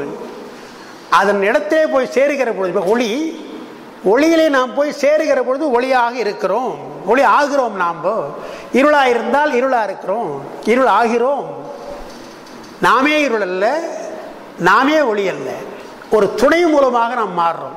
அப்போ உயிர் சிவமாதல் என்று சொன்னால் உயிர் இறைவனுடைய துணையினாலே சிவத்தினுடைய துணையாலே சிவமாக ஆகிறான் என்பதுதான் அடிப்படை. அதுக்கு தான் எத்தனையோ உதாரணம் சொன்னாங்க. அதெல்லாம் விட சாதாரணமாக நான் சொல்கிற உதாரணம். விளக்கு இருக்குது சுவிட்ச் இருக்குது எல்லாம் இருக்குது. ஆனால் எது ஒளி தருகிறது? கரண்ட்டு தான் தருது. கரண்ட்டு பாய்ந்தால்தான் இந்த விளக்கு எரியும். ஏசி ஓடும் ஃபேன் ஓடும். ஃபேனே ஓடாது. இப்போ ஓடிட்டு இருக்குது என்ன கரண்ட் இருக்குதுங்க அதனால் ஓடுது. அப்போ சிவமாக ஆகிறான்னா என்ன சொன்னோம்? சிவனுக்கு முன்னாலே இருந்து கொண்டிருந்தால் தான் நீ சிவமாகிறது. சரிங்க கொஞ்ச நேரம் பேட்டரி சார்ஜ் பண்ணுற மாதிரி கொஞ்ச நேரம் சிவமே கொஞ்ச நேரம் பத்து நிமிஷம் எங்கூட இருங்க. நான் சிவமாக வந்துட்டு சொன்னால் எத்தனை சிவத்தை வெளியே அனுப்புறது? இல்லையா? உயிர்கள் எத்தனை சிவத்தை அனுப்புறது அவர்? எல்லாம் சிவத்தினுடைய ஜோதியிலே கலந்திருக்கிறார்கள். ஒரே கரண்ட்டு தான். அது எத்தனை வகையாக மாறி இருக்குது? அதே போல அதனுடைய ஆற்றலினாலே எல்லாம் அதனுடைய தன்மையில் இருக்கிறது. அதான் உயிர்கள். எனவே சிவமாதல் என்பது சிவமாக இருக்கின்ற தன்மையை பெற்றிருக்கிறதே தவிர சிவமே ஆவது கிடையாது. இதுதான் அடிப்படையாக சொல்ல வேண்டியது. போகிற வகையில் ஒரு உதாரணம் உங்களுக்கு சொன்னேன். தந்தையும் மகனும் சண்டை போட்டுக்கிறான். நீ என் பிள்ளையே இல்லடான்றான் அவன். அவன் என்ன சொல்கிறான் நீ எங்கள் அப்பனே இல்லை போடான்ட்டு போனான். சொல்லிட்டு போகிறான். சொல்கிறது சரி கோபத்தில் சொல்கிறது சரி. அப்படியே நெடுநாள் பிரிந்திருப்பான்னு பாரதியார் பாடுற மாதிரி பிரிஞ்சு கூட இருக்கலாம். ஆனால் தன்னுடைய மகனை மகன் இல்லை என்று சொன்னாலும் மகன் இல்லாமல் ஆவான் அவன். தன்னுடைய தந்தை தந்தை இல்லைன்னு அவன் சொன்னாலும் தந்தை இல்லையா? தந்தை தந்தை தான் மகன் மகன் தான். அதுபோல இறைவனுடைய ஆற்றலை பெறுவதாலே நீ சிவம் கிடையாது. சிவம் வேறுதான் நீ வேறுதான். அதுதான் அவன் கேட்குறாங்க எனக்கு இதுதான் சார் புரியலன்றாங்க. சிவ சமவாதிகள் சொல்றதும் இன்னும் மற்ற அகச்ச அகச்சமயவாதிகள்லாம் சொல்ற பொழுது இறைவன் தான் அருளை கொடுத்துட்டான மொத்த அருளை கொடுத்துட்டானே அதற்கு பின்னால் எப்படி நீங்கள் வந்து திருப்பி திருப்பி கேட்குறீங்க நான் சிவமில்லை சிவமில்லை ஏன் சொல்கிறீங்க என்று ஒருத்தன் கேட்குறான் எல்லா அருளையும் கொடுக்குறான். உயிருக்கு சிவகரணங்களாக போயிடுச்சு. எல்லா கரணம் சிவகளாக போச்சு. நமக்கு தற்போதம் போயிடுச்சு. எல்லா கருவிலையும் விட்டாச்சு உயிர் உயிராக இருக்கிறது. முத்து பெத்த நிலையிலிருந்து முத்தி நிலைக்கு வந்தாச்சுன்னா சிவன் தானே அது? என்ன தடை நீங்கள் சொல்கிறீங்கன்னு கேட்குறான் உமாவரி சிவம் ரொம்ப அழகான ஒன்று சொல்கிறார் முத்தி நிலைக்கு சொல்கிற ஒரு விஷயம் ஒரு பாட்டு நீளமான பாட்டு அது ஔவையார் எடுத்து காட்டு சொல்கிறார் என்ன சொல்கிறாருன்னா ஒரு பாட்டு ஆழ அமுக்கி முகக்கினும் ஆழ்கடல் நீர் நாழி முகவாது நானாடி ஒரு பாட்டு. அருமையான பாட்டு இது. அந்த ஒரு வரி மட்டும் எழுதுறேன். இதை மேற்கோள் காட்டார் உமாவரி சிவம்.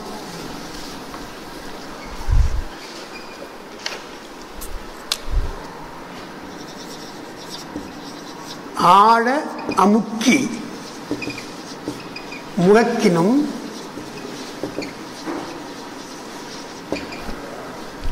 ஆழ்கடல் நீர்.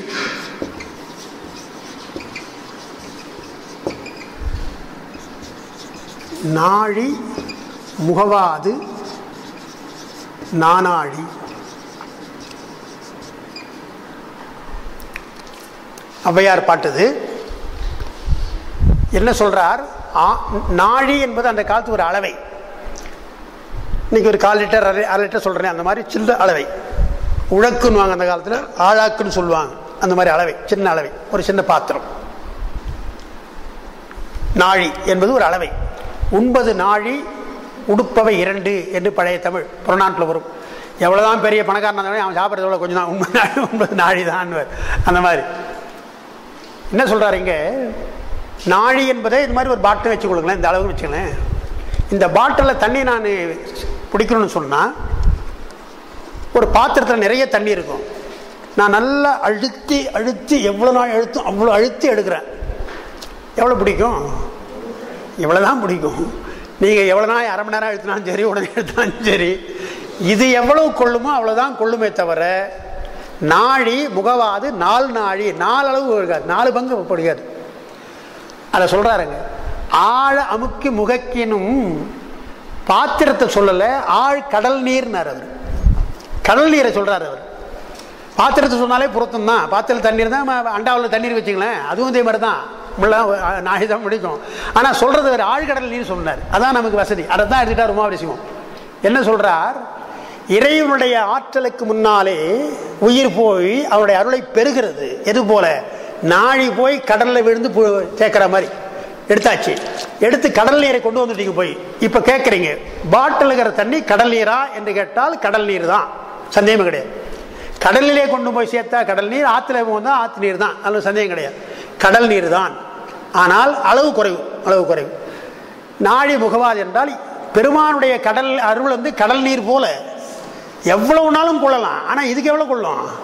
இவ்வளோதான் கொள்ளும். இதை கொண்டுகிட்டு என்ன ஆகிப்போச்சு நானும் கடலும் ஒன்று தான் நானும் கடலும் ஒன்று தான் ஒரு வேளை சொன்னால் அவ்வளோ பெரிய பரப்பு இருக்கிறது.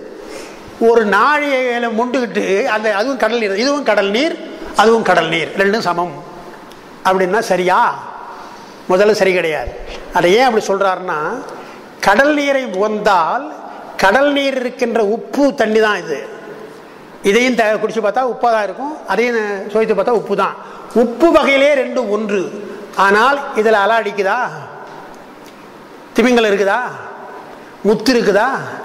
கடல் இருக்கிற அத்தனை இதில் இருக்குது. அப்போ ஏன் கடல் நீர் சொல்கிற இதை? கடல் நீர் என்று சொன்னால் அதில் எல்லாம் இருக்கணும். முத்து பவளக்குடி இருக்குது முத்து போய் அங்கே தான் பிறக்குதுன்றாங்க. திமிங்கலம் அங்கே தான் எத்தனையோ கடல் நீர் எவ்வளோ இருக்குதுன்றாங்களே. அவ்வளோ அதில் இருக்குது. எதுவுமே இல்லாமல் வெறும் உப்பு தண்ணி முட்டி உப்பை முட்டை வச்சுக்கிட்டு இதுவும் கடல் நீர் அதுவும் கடல் நீர்னு சொன்னான் எது போல? அதுபோலத்தான் ஆண்டவருடைய அருளை பெற்ற பின்னால் நானும் சிவம் அவனும் சிவம் சொன்னால் எவ்வளோ தப்பு? எவ்வளோ தப்பு இது இல்லையா? அவனை அருளை பெற்றுட்டு கொஞ்சம் பெற்றுக்கிட்டேன் உப்பு மாதிரி கொஞ்சம் இருக்கிறேன் அவ்வளோதானே தவிர கொஞ்சம் உப்பாக இருக்கிறேன். அது ஏன்னா அவன் ஆற்றல் சில ஆற்றல் அவனே கொடுக்குறான். படைக்கின்ற ஆற்றல் கொடுப்பான் அழிக்கின்ற ஆற்றலாம் கொடுக்குறான்னு சொன்னால் அவனுடைய ஆற்றலினாலே அடைகிறோமே தவிர கடல் நீருக்குள்ள எந்த தகுதி நமக்கு கிடையாது என்று உணர வேண்டும் அல்லவா? அதைத்தான் அருளாளர்கள் உணர்ந்தார்கள்.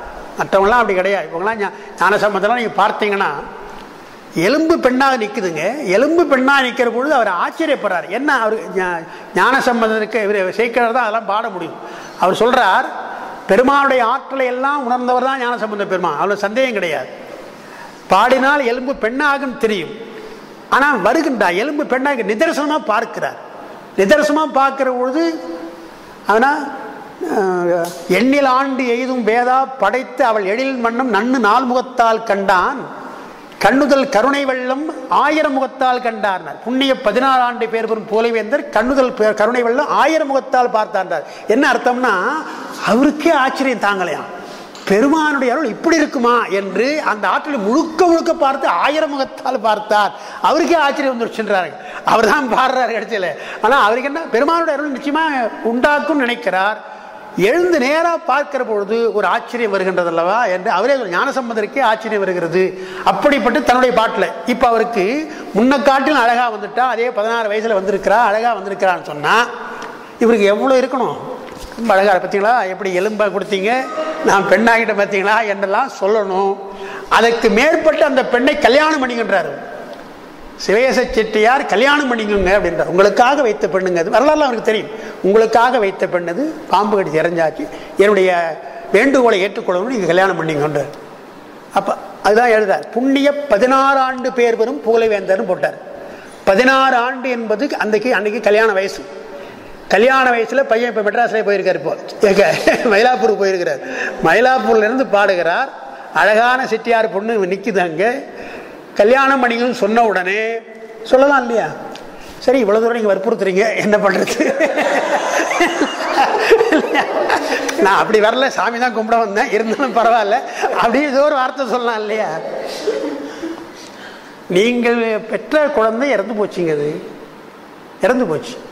கத்தைவார் சடையார் கருணை காண்வர உற்பவித்தலால் உரை தகாதுன்னார்.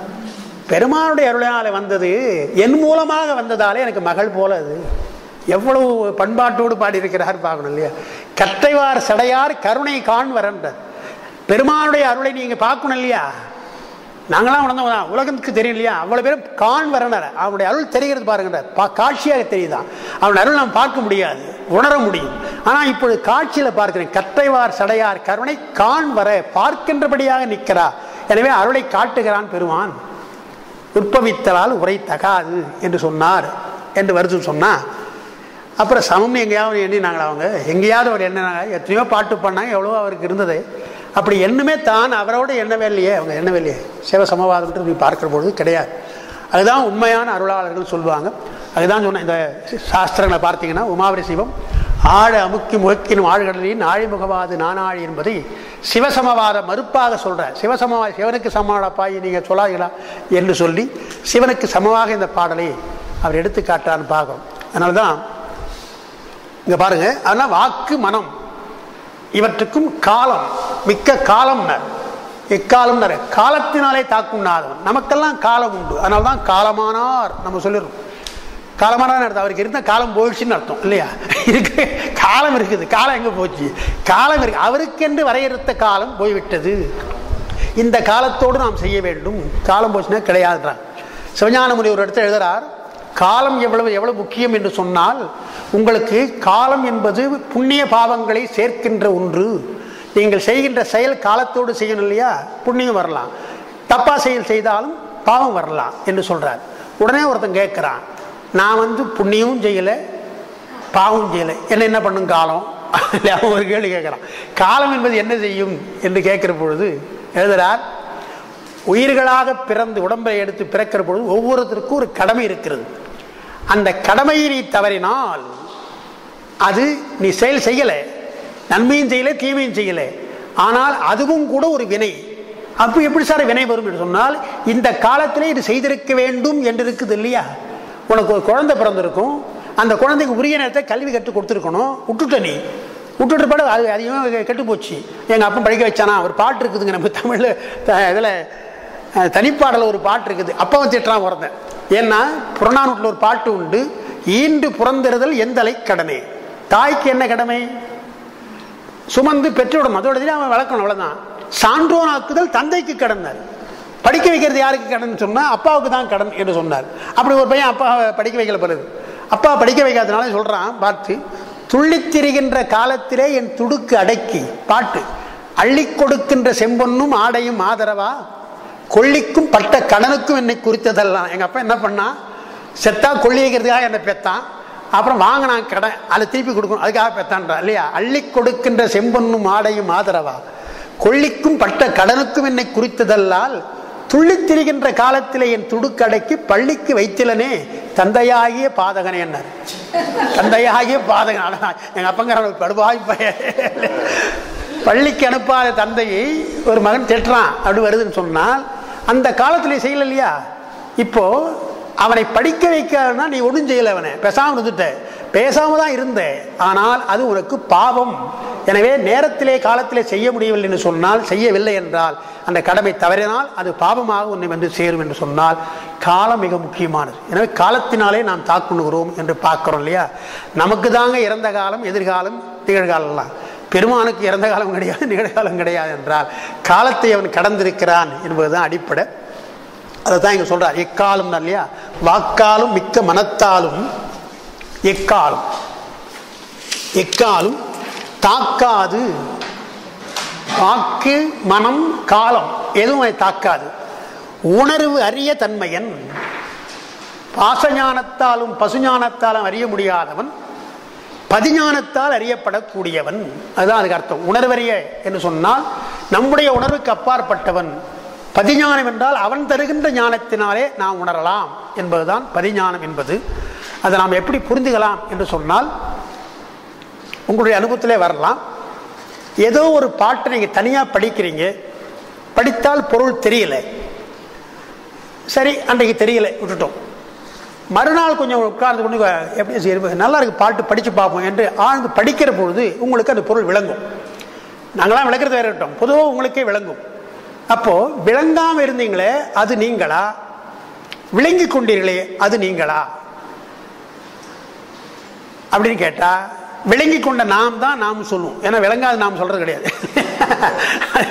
விளங்கி நான் தான் நான் தான் எனக்கு தான் தெரியாமல் இருந்தது. நான் தான் தெரிந்து கொண்டேன்றோம். நீ தான் தெரிந்து கொண்டேன்ற வார்த்தை இருக்கு இல்லையா? அதுதான் பசு ஞானம்ன்றாங்க அது தப்புன்றாங்க. உன்னுடைய திமிர்ன்றாங்க. நீ தான் அறிந்து கொண்டாய்னா அப்போ நேற்று என்னாச்சு உனக்கு? நேற்று நீ தானே இருந்த? நீ தானே இருந்த? உயிர் அதுக்குள்ளே வேறு மாதிரி மாறி போச்சா? உனக்கு என்ன மாற்றம் வந்துடுச்சா? நேற்று அறிய முடியவில்லை இன்று அறிகிறாய் என்று சொன்னால் நேற்று அறிகின்ற காலம் உனக்கு இல்லை. இப்பொழுது அறிவிக்கின்ற காலம் உனக்கு இருக்கிறது. பெருமான் உனக்கு அறிவிக்கிறான். எல்லா பொருள்களையும் அப்படித்தான் அறிவிக்கிறான் என்று பார்க்கிறோம். இது சொல்லுவார் நான் அடிக்கடி சொல்கிறது நாம் தெரிந்து கொள்ளலாம். இங்கே இப்போ இங்கே கூட நான் பார்க்குறேன். இங்கே கூட எம்ஆர்டிக்கு தான் வரேன். கரெக்டாக வர்றது தான். ஆனால் நான் வர்ற பொழுது எதிரில் போகுமே தவிர எந்த வராது எப்பவுமே. என் சைடு வரவே வராது. மெட்ராஸில் போய் நின்னா பஸ்ஸுக்கு நின்னா எல்லா பஸ்ஸும் அப்படி போகுமே தவிர இப்படி வராது. இதெல்லாம் இயற்கையாக பாருது நமக்கு நமக்கு நமக்கு நாம அனுபவிச்சு அங்கேயே அதிர்ஷ்டத்தை பார்த்துக்கிறோம். வேற ஒன்றும் இல்லையா? நம்ம அதிர்ஷ்டத்து பஸ்ஸு கூட வராது இல்லையா? ஒருத்தன் சொன்னா பஸ்ஸும் போட்டிருக்காங்க பஸ்ஸுக்கு பார்த்து ஒரு ஆச்சரிய குறி போட்டிருக்காங்கன்னு சொன்னோம் பஸ் ஸ்டாப்பில் என்ன பண்ணுவாங்க? ஒரு பஸ் போட்டிருப்பாங்க. அப்புறம் ஒரு ஆச்சரிய குறி போட்டுவாங்க ஏன் சார் பஸ்ஸை போட்டால் பரவாயில்ல பக்கத்தில் ஒரு ஆச்சரிய குறியாக போட்டிருக்காங்க கேட்பான். அந்த காலம்லாம் இருந்தது. அப்படியே வேற அப்பா நீ நினைக்கிற பொழுது பஸ் வராது. அப்படியே வந்துட்டாலும் இடம் ஆச்சரியம் இல்லையா? அற்று இடம் இருக்காது. இல்லையா இதுக்கெல்லாம் சேர்த்தவங்க ஆச்சரியம் போட்டான்வாங்க இல்லையா? எனவே நாம் நினைப்பது என்பது நடக்காதது காலம் என்று இருக்கு இல்லையா? காலத்தினாலே நாம் தாக்குண்ணுகின்றவர்கள். ஆனால் பெருமானுக்கு இது காலம் கிடையாது. உணர்வறியவன் என்று சொன்னால் அவனை எந்த உணர்வினாலே புத்தகத்தினால அறிய முடியாது. அவனை அனுபவத்தினாலே அறிய வேண்டும். அதான் முதல்ல ஒரு சொன்னோம் இல்லையா? மனம் வாக்குலாம் சொன்ன பொழுது மனம் என்பது பதிவிப்பது. அந்த கருவிகள் இருக்கிற அதை அறிவிப்பது மனம் பதிவிப்பது அறிவதை அறிவது சிந்தி சிந்தி- சித்தமரை சிந்திப்பது உயிர் அனுபவிப்பதுன்னு. உயிருக்கு அனுபவம் என்று சொன்னால் இப்படிலாம் வந்தாலும் உயிர் தான் அனுபவிக்கும். அந்த அனுபவத்தினால தான் நாம் பெருமானை உணர முடியுமே தவிர மற்றபடி அறிவித்தாலோ அல்லது நான் மற்றவற்றோ அறிய முடியாது. தாக்காது உணர்வு அறிய தன்மையன். அதான் உங்களுக்கு அந்த புத்தகத்தில் போட்டிருப்பேன். உங்களுக்கு கொடுக்கின்ற இதில் ஏகான்மவாதம். பதிஞானத்தால் பதார்த்தம் என்று போட்டிருப்பேன். பரஞானத்தால் பரத்தை தரிசிப்பார் பரமே பார்த்திருப்பார் பதார்த்தங்கள் பாரார். இந்த பதார்த்தம் என்ற ஒரு வார்த்தை இருக்குது. மூணு நாலாம் பக்கத்தில் நான் சொல்கிறேன் நாலாம் பக்கத்தில்.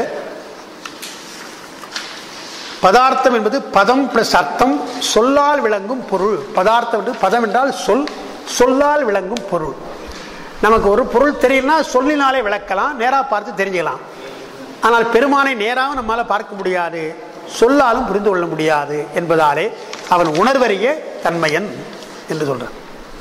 சொல்லிட்டு அதற்கு பின்னால் அவர் எழுதுறார் பாட்டில் உணர்வறிய தன்மையனை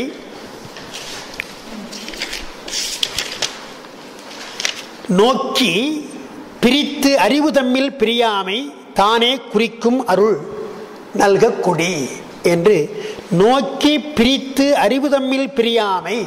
அதுதான் நான் சொல்கிற விளக்கம் உங்களுக்கு இருக்குது. நாளைக்கு தான் அதை நடத்த முடியும் நான் நினைக்கிறேன். அந்த நாலாம் பக்கத்தில் பாருங்க. அறிவு தம்மில் பிரியாமை என்று ஒரு வார்த்தை இருக்குது இல்லையா? அறிவோடு நமக்கு சேர்ந்திருக்கிறான் என்பதை நாமே உணர வேண்டுமே தவிர பிரித்து உணர முடியாது அப்படின்றான். எந்த பொருளையும் நாம் பிரித்து தான் உணர்றோம். அங்கே எதிரில் தான் பார்த்து உணர்வது? நம்மை நாமே உணர்வது கிடையாது. பெருமான் கலந்திருப்பதாலே அவனை அப்படித்தான் உணர முடியும். அனுபவத்தில் உணர முடியுமே தவிர பிற பொருள்களினாலோ பிற கருவிகளாலோ நம்மளால் பார்க்க முடியாது என்பதுதான் அறிவு தம்மில் பிரியாமை என்று சொல்கிறார் அது நாம் நாளைக்கு தான் சொல்லணும். அந்த உயிரோடு இறைவன் கலந்திருக்கின்ற கலப்பு என்பதுதான் அத்வைதம். அதான் உங்களுக்கு அந்த மூணாவது பாட்டு அத்வைத நிலை விளக்குதில் என்று சொன்னேன். அத்வைதம் என்றால் அவன் வேறு நாம் வேறு அல்ல. இரண்டு பொருளாக இருந்தாலும் ஒரே நிலையாக மாறுதல் என்பதுதான் அத்வைதம் என்பது. நாளைக்கு அந்த அத்வைத விளக்கத்தையும் தமிழ் பிரியாம் என்பதற்கு சில உதாரணங்கள் கொடுத்துருக்காங்க. அந்த உதாரணங்களை நாம் சொல்லணும். சிவபோக சாரம் என்று ஒரு நூல் அதில் ஒரு பாட்டு எழுதியிருக்கிறேன். இன்றைக்கி சாருக்கிட்ட கொடுத்தா அதையும் நாளைக்கு கொடுத்துருவாங்க. அதையும் பார்த்து முடிச்சோம்னா அந்த மூன்றாவது பாட்டு முடியும். நான்காவது பாட்டு ஐந்து எடுத்து தான். உண்மை இடத்துல விரிவாக நான் அதை சொல்லியிருக்கிறேன். இருந்தாலும் மறுபடியும் அந்த விஷயத்தை நான் உங்களுக்கு நான் பல பேர் இங்கே புதுசாக வந்திருக்காங்க. அவங்களுக்கு நம்ம சொன்னால் அந்த நான்காவது பாட்டோட முடியும். இனிமேல் நாளையோடு நம்ம அதை நிறைவு செய்யலான்ற நம்பிக்கை இருக்குது. அன்பரசும் கவலை